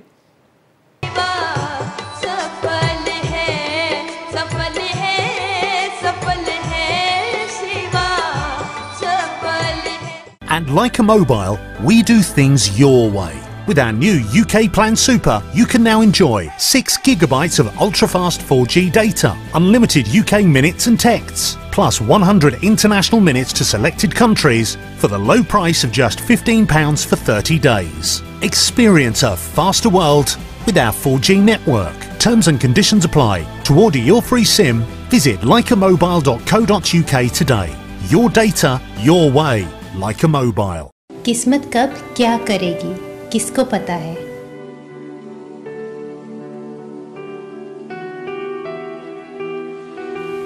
खुशी गम शुभ अशुभ दुख सुख आपकी किस्मत का हाल किस्मत कर्मा के साथ आपके अपने चैनल एम टीवी पर नमस्कार नमस्कार Namaste. I love India. So, travel a lot? No, just on business. You love India without experiencing it. But I have experienced it right here on Air India. I always fly Air India. Me too. Now fly anywhere to anywhere. Earn and redeem miles via 27 Star Alliance partners. Air India, proud to be Indian, proud to be global. School जाना तो एक सपना था रोज देखता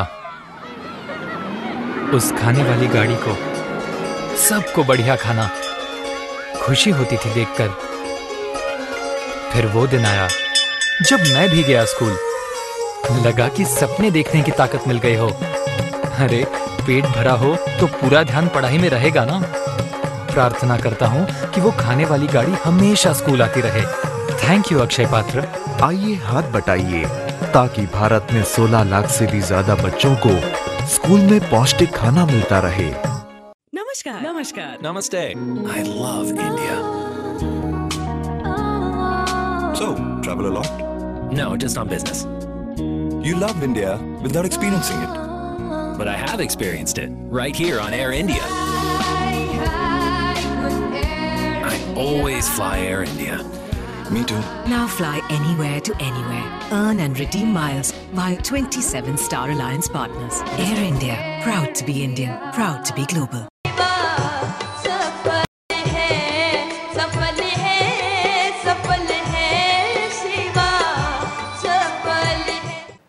Waheguru ji ਕਾ ਖਾਲਸਾ ਵਾਹਿਗੁਰੂ ਜੀ ਕੀ ਫਤਿਹ ਖਾਲਸਾ ਜੀ ਜਦੋਂ ਸਾਹਮਣੇ ਕੁਝ ਹੋਰ ਹੁੰਦਾ ਹੈ ਡੋਰ ਦੇ ਪਿੱਛੇ ਕੁਝ ਹੋਰ ਹੁੰਦਾ ਤੁਹਾਨੂੰ ਯਾਦ ਹੋਵੇਗਾ ਜੋ 1848 ਵਿੱਚ ਸਿੱਖ ਪੰਥ ਦੀ ਖਾ- ਪੰਜਾਬ ਦੀ ਜਾਂ ਸਾਡੇ ਦੇਸ਼ ਪੰਜਾਬ ਦੀ ਜਿਹੜੀ ਲੜਾਈ ਉਸ ਟਾਈਮ ਅੰਗਰੇਜ਼ਾਂ ਨਾਲ ਹੋਈ, ਉਹਨੂੰ ਹੈਂਡਲ ਕੌਣ ਕਰ ਰਿਹਾ ਸੀ? ਧਿਆਨ ਸੋ ਡੋਗਰਾ। ਧਿਆਨ ਸੋ ਡੋਗਰਾ ਦੇਖਣ ਨੂੰ ਬੜਾ ਜਨੈ ਲੱਗਦਾ ਸੀ। ਤੇ ਜਦੋਂ ਲੜਾਈ ਜਿਹਦੇ ਨਾਲ ਪਵਾਈ, ਅੰਦਰੋਂ ਉਹਨਾਂ ਨਾਲ ਰਲਿਆ ਹੋਇਆ ਸੀ। ਇਹ ਸੇਮ ਪੋਜੀਸ਼ਨ ਨੂੰ ਅੱਜ ਲੱਭਣ ਡਈ ਆ। ਵੀ ਲੜਾਈ ਧਿਆਨ ਸੋ ਡੋਗਰੇ ਦੀ ਸ਼ਕਲ ਨਜ਼ਰ ਆਉਂਦੀ ਹੈ ਇਹਨਾਂ 'ਚ। ਕਾਲ ਲੈ ਜੀ। ਹੈਲੋ। ਸਤਿ ਸ੍ਰੀ ਅਕਾਲ ਭਾਜੀ। ਸਤਿ ਸ਼੍ਰੀ ਅਕਾਲ ਜੀ ਆਓ ਗੁਰਿਆ ਸਾਹਿਬ? ਕੀ ਹਾਲ ਤੁਹਾਡਾ? ਠੀਕ ਹੈ ਮਾਂ। ਹੋਰ ਇੱਕ ਸੌ 86 ਕੇਸਾਂ ਦੀ ਗੱਲ ਕਰਦੇ ਜਿਹੜੇ ਖੁੱਲਣੇ ਆ। ਹਾਂਜੀ। ਪਰੀ ਓਪਨ ਹੋਏ। ਸਿਆਸੀ ਕੇਸ ਨਹੀਂ ਜਿਹੜੇ ਦਿੱਲੀ ਦੇ ਕਤਲ 186 ਦਿੱਲੀ 'ਚ ਆਹ ਉਹੀ ਕਤਲੇਆਮ ਜਿਹੜਾ। 186 ਹੋ ਗਏ। ਹਾਂਜੀ ਹਾਂਜੀ। ਕਿਸੇ ਨੇ ਇਹ ਵੀ ਹਿਸਾਬ ਲਾਇਆ 84 ਤੋਂ ਬਾਅਦ ਜਿਹੜੇ ਕੇਸ ਹੋਏ ਆ ਜਿਹੜੇ ਬਹੁਤ ਜ਼ਿਆਦਾ ਖਤਰਨਾਕ ਆ। ਪੰਜਾਬ ਦੇ। ਹਾਂਜੀ। ਨੂੰ ਉਹਨਾਂ ਵੱਲ ਇਹਨਾਂ ਦਾ ਧਿਆਨ ਨਹੀਂਗਾ ਉੱਥੇ ਕੋਈ ਜਾਏ ਤਾਂ ਤਾਂ ਹੀ ਆ ਨਾ ਜੀ ਜਾਂ ਪੰਜਾਬ ਦੇ ਲੋਕ ਕਰਨ। ਉਹ ਕਈ ਕੇਸ ਰੀਓਪਨ ਹੋਏ ਆ ਉਹਦਾ ਵੀ ਕਿੰਨਾ ਪੁਲਿਸ ਅਫਸਰਾਂ ਨੇ ਮਾਰੇ ਆ ਪਰ ਜਿਹਨੇ ਹੋਣੇ ਚਾਹੀਦੇ ਉਹਨੇ ਨਹੀਂ। ਹੋ ਜਾਣਗੇ ਹੋਰ ਥੋੜਾ ਜਿਹਾ ਰੌਲਾ ਪਈ ਇਹ ਤੁਹਾਨੂੰ ਇਹ ਸਾਨੂੰ ਪੰਜਾਬੀਆਂ ਨੂੰ ਬੇਵਕੂਫ ਬਣਾਇਆ ਇਹਦੇ ਕੇਸ ਲੱਗੇਗਾ ਜਾਨੂ ਇਹ 186 ਆ ਜਾਨੂ 586 ਹੋਰ ਹੋ ਜਾਣੇ। ਠੀਕ ਹੈ ਉਹ ਤੇ ਚੰਗੀ ਗੱਲ ਹੈ ਜਿਹਨੇ ਇਹ ਸੋਚੋ। ਹਾਂਜੀ। ਪੰਜਾਬ ਦਾ ਜਿਹੜਾ ਪੈਸਾ ਹਾਂਜੀ। ਬੰਦ ਹੋਇਆ। ਹਾਂਜੀ। ਸੈਂਟਰ ਗਵਰਨਮੈਂਟ ਤੋਂ। ਹਾਂਜੀ। ਪੰਜਾਬ ਦੇ ਵਿੱਚ ਕਿਹੜੀ ਤਰੱਕੀ ਹੋਈ ਉਸ ਤੋਂ ਬਾਅਦ ਕਿਹੜੀ ਵੱਡਾ ਪਲਾਂਟ ਲੱਗਿਆ ਕੋਈ? ਕੋਈ ਵੀ ਨਹੀਂ। ਬੰਦ ਹੀ ਹੋਏ। ਹਾਂਜੀ।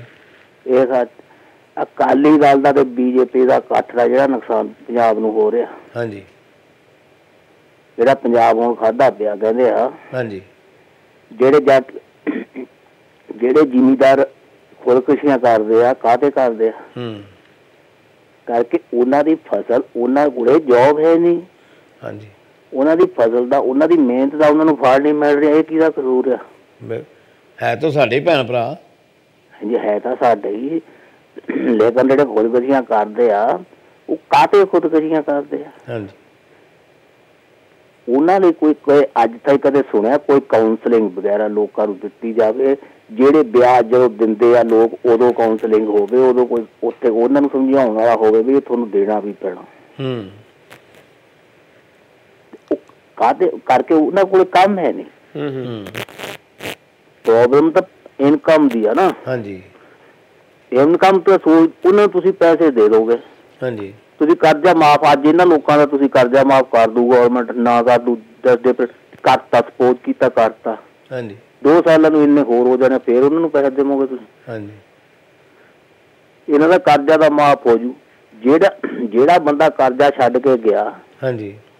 ਉਹ ਨਿਆਣਿਆਂ ਦਾ ਵੀ ਹੱਥ ਤੋਂ ਜਿਹੜਾ ਨਿਆਣਿਆਂ ਦੇ ਉੱਤੇ ਸਿਰ ਸੀਗਾ ਉਹ ਵੀ ਲੈ ਗਿਆ ਲਾ ਕੇ ਮਾਂ ਪਿਓ ਦਾ ਬੁਢਾਪੇ ਦਾ ਜਿਹੜਾ ਸੀਗਾ ਉਹ ਵੀ ਲਾ ਕੇ ਲੈ ਗਿਆ ਉਹ ਬੰਦਾ ਤਾਂ ਆਪ ਤਾਂ ਆਪ ਤਾਂ ਮਰ ਗਿਆ ਉਹ ਆਪਦੇ ਨਿਆਣਿਆਂ ਦਾ ਤੇ ਆਪਦੇ ਮਾਂ-ਬਾਪ ਲਈ ਕੀ ਛੱਡ ਕੇ ਗਿਆ? ਨਹੀਂ ਜੀ ਜਿਹੜੀ ਉਹਨੇ ਸਾਰੀ ਉਮਰ ਮਿਹਨਤ ਕਰਨੀ ਸੀ ਉਹ ਕਿੱਥੇ ਗਈ? ਉਹ ਕਿੱਥੇ ਗਈ? ਜਦੋਂ ਨਾ ਉਹਦੇ ਨਿਆਣੇ ਕੌਣ ਸਾਂਭੂ ਉਹਦੇ ਮਾਂ-ਬਾਪ ਨੂੰ ਕੌਣ ਸਾਂਭੂ? ਬਿਲਕੁਲ।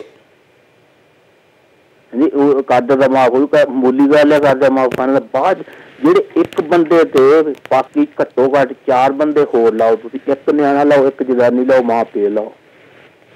ਤੇ ਜਿਹਦੇ ਇੱਕ ਮਾਂ ਪਿਓ ਇੱਕ ਨਿਆਣਾ ਹੋਰ ਲਾ ਲਓ ਤੂੰ ਨਾਲੇ ਗਰੇਵਾਲ ਸਾਹਿਬ। ਜਿਹੜੇ ਮੈਂ ਤਾਂ ਕਈ ਵਾਰ ਦੇਖਿਆ ਜਿਹੜੇ ਇਹ ਆਤਮ ਹੱਤਿਆ ਕਰਨ ਵਾਲੇ ਕਿਸਾਨ ਨੇ ਉਹ ਕਰਜ਼ਾ ਵੀ 2-2 4-4 ਲੱਖ ਦਾ ਹੀ ਆ।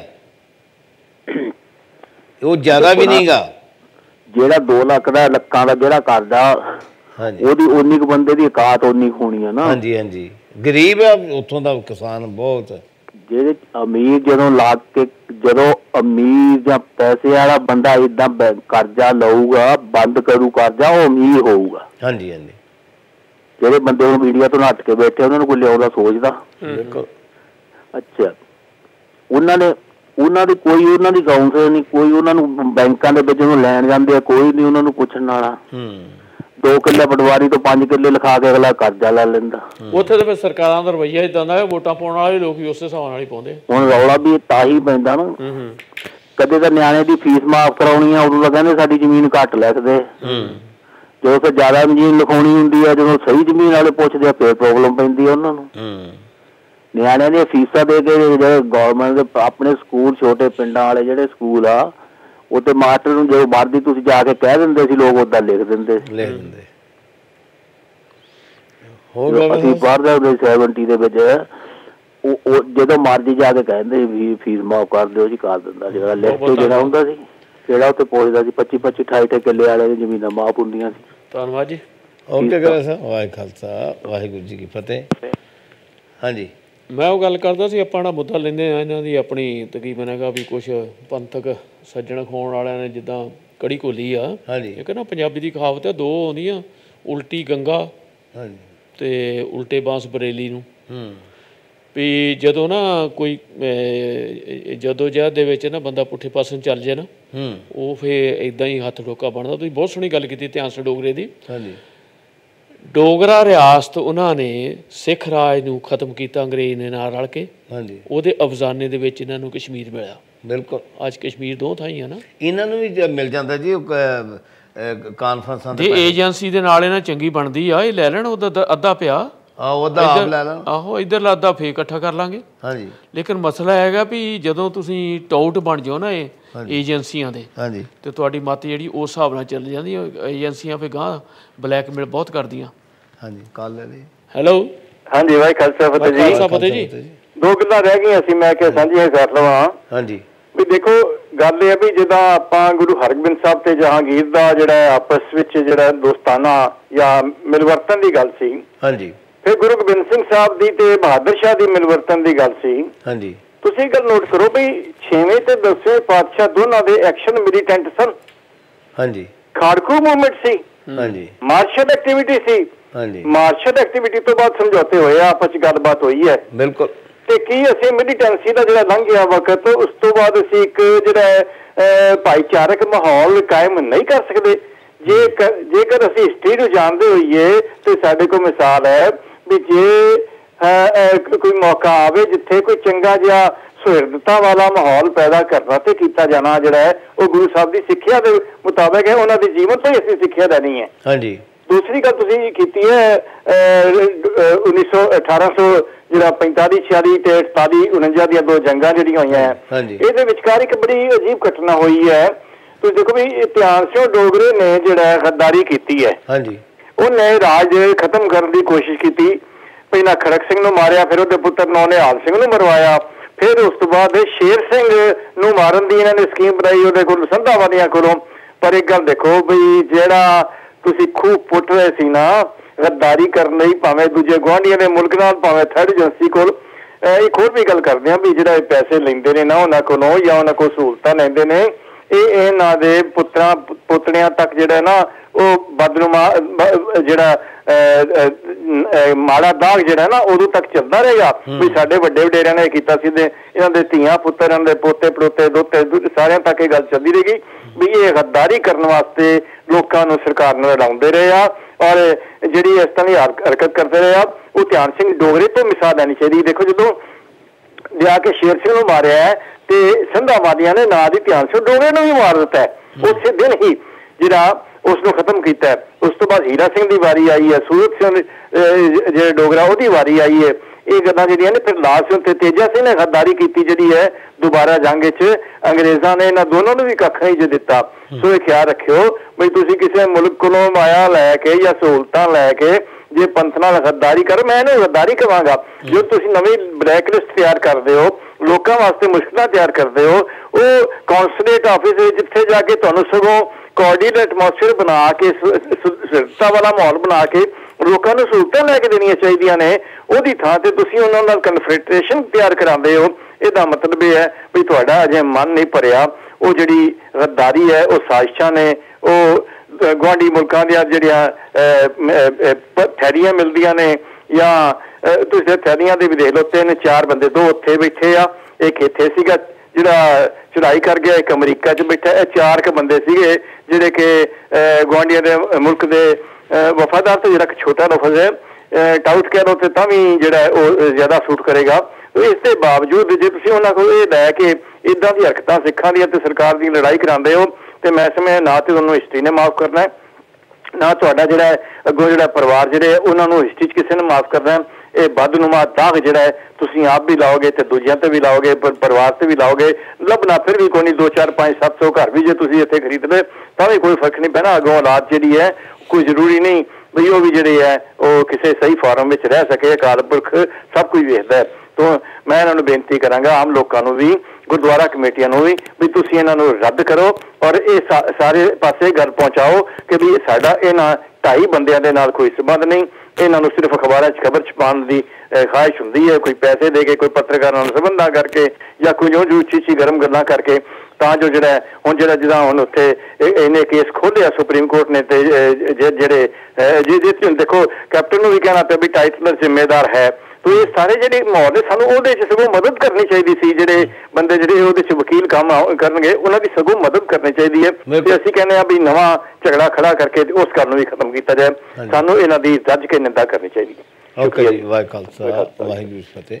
ਜਿਹੜਾ ਬਲ ਸਾਹਿਬ ਗੱਲ ਜਿਹੜੀ ਇਹਨਾਂ ਦਲਗੀਰ ਸਾਹਿਬ ਨੇ ਵੀ ਕਹੀ ਹੈ ਨਾ ਆਪਾਂ ਇਦਾਂ ਹੀ ਮਾਹੌਲ ਇਦਾਂ ਦਾ ਹੀ ਬਣ ਰਿਹਾ ਵੀ ਵੇਖੋ ਕੋਈ ਇਹੋ ਜਿਹੀ ਘਟਨਾ ਨਹੀਂ ਪਿਛਲੇ 2 4 6 ਮਹੀਨੇ ਚ ਇਦਾਂ ਦੀ ਹੋਈ ਵੀ ਐਡਾ ਵੱਡਾ ਇੱਕ ਸਟੈਪ ਜਿਹੜਾ ਕਿ ਧਾਰਮਿਕ ਤੌਰ ਤੇ ਵੀ ਠੀਕ ਨਹੀਂ ਲਿਆ ਜਾਏ। ਇਹਨਾਂ ਕੋਲ ਸਿਰਫ 4 5 ਬੰਦੇ ਆ ਵਿਚਾਰੇ, ਹੋ ਸਕਦਾ ਉਹ ਨਜਾਇਜ਼ ਹੋਣ। ਕਿਉਂ ਸਾਨੂੰ ਤਾਂ ਪਤਾ ਨਹੀਂ। ਨਜਾਇਜ਼ ਵੀ ਹੋ ਸਕਦੇ ਆ। ਜੇ ਨਜਾਇਜ਼ ਨੇ ਤੇ ਸਗੋਂ ਪ੍ਰੈਸ਼ਰ ਬਿਲਟ ਕੀਤਾ ਜਾਣਾ ਚਾਹੀਦਾ ਸਰਕਾਰ ਤੇ ਵੀ ਇਹ ਬੰਦੇ ਨਜਾਇਜ਼ ਨੇ। ਜੇ ਸਰਕਾਰ ਨਹੀਂ ਛੱਡਦੀ ਤੇ ਚੰਗੀ ਤਰ੍ਹਾਂ ਕੇਸ ਲੜਨੇ ਚਾਹੀਦੇ ਦੇਖੋ ਉਹਨਾਂ ਦੇ। ਪਹਿਲੀ ਦੀ ਗੱਲ ਹੈ ਵੀ ਜਿਹੜੇ ਬੰਦੇ ਇੱਥੋਂ ਬ੍ਰਿਟਿਸ਼ ਪਾਸਪੋਰਟ ਤੇ ਫਿਰ 4-6 ਬੰਦਿਆਂ ਨੂੰ ਪੂਰੀ ਕੌਮ ਨੂੰ ਅੱਗ 'ਚ ਝੋਕਣ ਦੀ ਕੀ ਗੱਲ ਹੋਈ? ਦੂਜੇ ਪਾਸੇ ਇਹ ਵੀ ਆ ਇਹਨਾਂ ਨੂੰ ਖੁੱਲ- ਜਿਹੜੇ ਬੰਦੇ ਤੇ ਜਿਹੜੇ ਬੰਦੇ ਪੰਜਾਬ ਚ ਬਾਹਰੋਂ ਆਏ ਉਹ ਇੱਥੇ- ਇੱਥੇ ਰਹਿੰਦੇ ਨਾ ਬਾਹਰੋਂ ਜਿਨ੍ਹਾਂ ਤੇ ਪੰਜਾਬ ਦੇ ਉੱਤੇ ਕੋਈ ਕੇਸ ਨਹੀਂ ਉਹ ਤਕਰੀਬਨ ਇੱਥੋਂ ਪੰਜਾਬ ਜਾਂਦੇ ਆ। ਹਾਂਜੀ। ਉੱਥੇ 4-4 ਮਹੀਨੇ ਰਹਿ ਕੇ ਆਉਂਦੇ ਆ ਇਹਨਾਂ ਦਾ ਐਡੀਟਰ ਉੱਥੇ ਪੂਰਾ ਬੈਂਚ 'ਚ 5-7 ਬੰਦੇ ਇਕੱਠੇ ਆ। ਹਾਂਜੀ। ਉੱਥੇ ਵਿਚਰਦੇ ਆ ਸਾਰਾ ਕੁਝ ਇਹ ਜਾ ਕੇ ਇਹ ਬੰਦੇ ਉਹਨਾਂ ਬੰਦਿਆਂ ਦਾ ਚੰਗਾ ਵਕੀਲ ਕਰ ਸਕਦੇ ਆ। ਉੱਥੇ ਵਕੀਲ ਕੇਸ ਲੜ ਸਕਦੇ ਆ।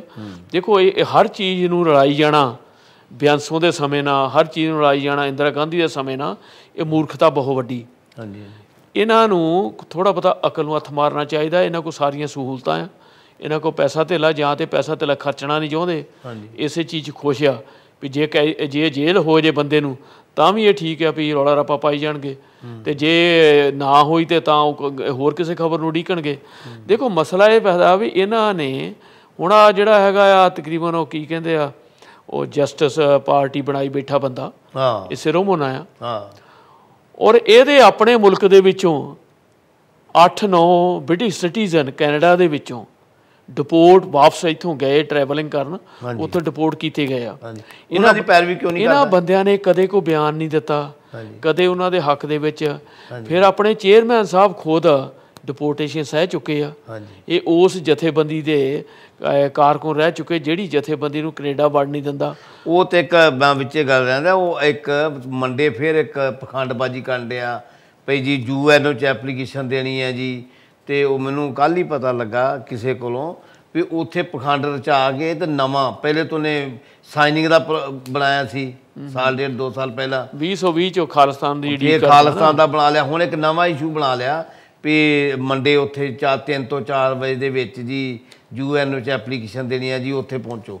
ਉਹ ਬੰਦੇ ਨੂੰ ਤਾਂ ਹਰ 2 4 6 ਮਹੀਨੇ ਬਾਅਦ ਇੱਕ ਅੱਧਾ ਪ੍ਰੋਗਰਾਮ ਚਾਹੀਦਾ ਵੀ ਜਿਹਦੇ ਨਾਲ ਉਹਦੇ ਚਾਰ ਪੈਸੇ ਬਣ ਜਾਣ ਆਉਣ ਜਾਣ ਦੀਆਂ ਟਿਕਟਾਂ ਮਿਲ। ਦੇਖੋ ਜਿੱਦਾਂ ਨਾ ਉਹ ਏਜੰਸੀ ਰਨ ਕਰ ਰਿਹਾ ਵੀ ਕੈਨੇਡਾ ਅਮਰੀਕਾ ਦੇ ਜਿਹੜੇ ਸਿੱਖ ਆ ਨਾ। ਜਿਹੜੇ ਪੰਜਾਬ ਨਾਲ ਜੁੜਨਾ ਚਾਹੁੰਦੇ ਆ। ਇਸ ਬੰਦੇ ਨੇ ਸਹੁੰ ਖਾਦੀ ਆ ਵੀ ਜੁੜਨ ਨਹੀਂ ਦੇਣੇ। ਹਾਂ।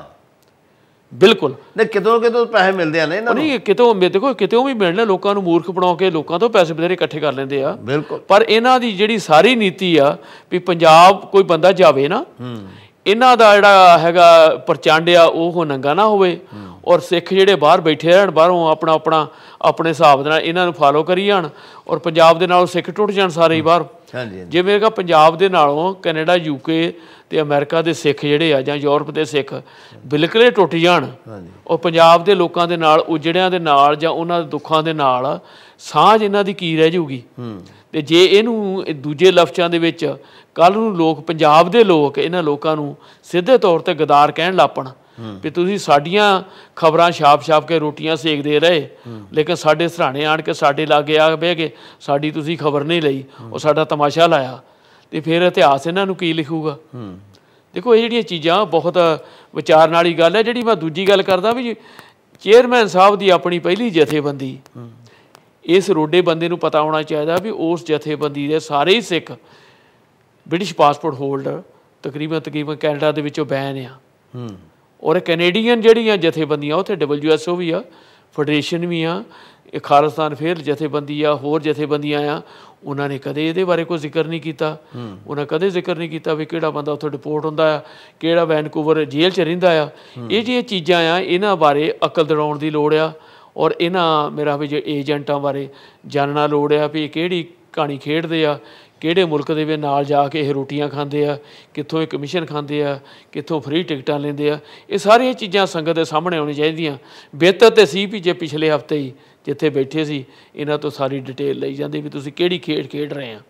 ਗੱਲ ਤੇ ਇਹ ਆ ਵੀ ਇਹ ਜਨਤਾ ਨੂੰ ਇਹ ਸੋਚ ਲੈਣਾ ਚਾਹੀਦਾ ਵੀ ਇਹ ਜਿਹੜੇ ਲੋਕ ਨੇ, ਇਹ ਸਿੱਖ ਭਲੇ ਦੀ ਗੱਲ ਨਹੀਂ ਕਰਦੇ, ਇਹ ਲੋਕਾਂ ਨੂੰ ਭੜਕਾਉਣਾ ਚਾਹੁੰਦੇ ਆ ਭੜਕਾ ਕੇ ਦੂਜੀਆਂ ਏਜੰਸੀਆਂ ਦੇ ਹੱਥ ਟੋਕਾ ਬਣ ਚੁੱਕੇ ਨੇ ਔਰ ਉਹਦੇ ਨਾਲ ਇਹ ਜਿਹੜਾ ਵਾ ਇਹ ਗੇਮ ਖੇਡਣ ਆ ਤਾਂ ਕਿ ਇਹਨਾਂ ਦੀ ਦੁਕਾਨਦਾਰੀ ਚੱਲਦੀ ਰਹੇ ਤੇ ਇਹਨਾਂ ਦੀ ਦੁਕਾਨਦਾਰ ਦਾਲ ਫੁਲਕੇ ਨਾਲ ਚੱਲਦੇ ਰਹੇ ਇਹਨਾਂ ਤੋਂ ਬਚੋ। ਇਹ ਉਹ ਲੋਕ ਨੇ ਜਿਹੜੇ ਸਿੱਖਾਂ ਨੂੰ ਮਰਵਾਉਣਾ ਚਾਹੁੰਦੇ ਆ ਬਚਾਉਣਾ ਨਹੀਂ ਚਾਹੁੰਦੇ। ਅਸੀਂ ਤਾਂ ਇਹੋ ਹੀ ਅੱਜ ਅਪੀਲ ਕਰਾਂਗੇ ਤੇ ਅਸੀਂ ਮਿਲਾਂਗੇ ਤੁਹਾਨੂੰ ਮੰਡੇ ਸਵਾ ਨੌ ਸਵਾ ਦਸ ਵਾਹਿਗੁਰੂ ਜੀ ਕਾ ਖਾਲਸਾ ਵਾਹਿਗੁਰੂ।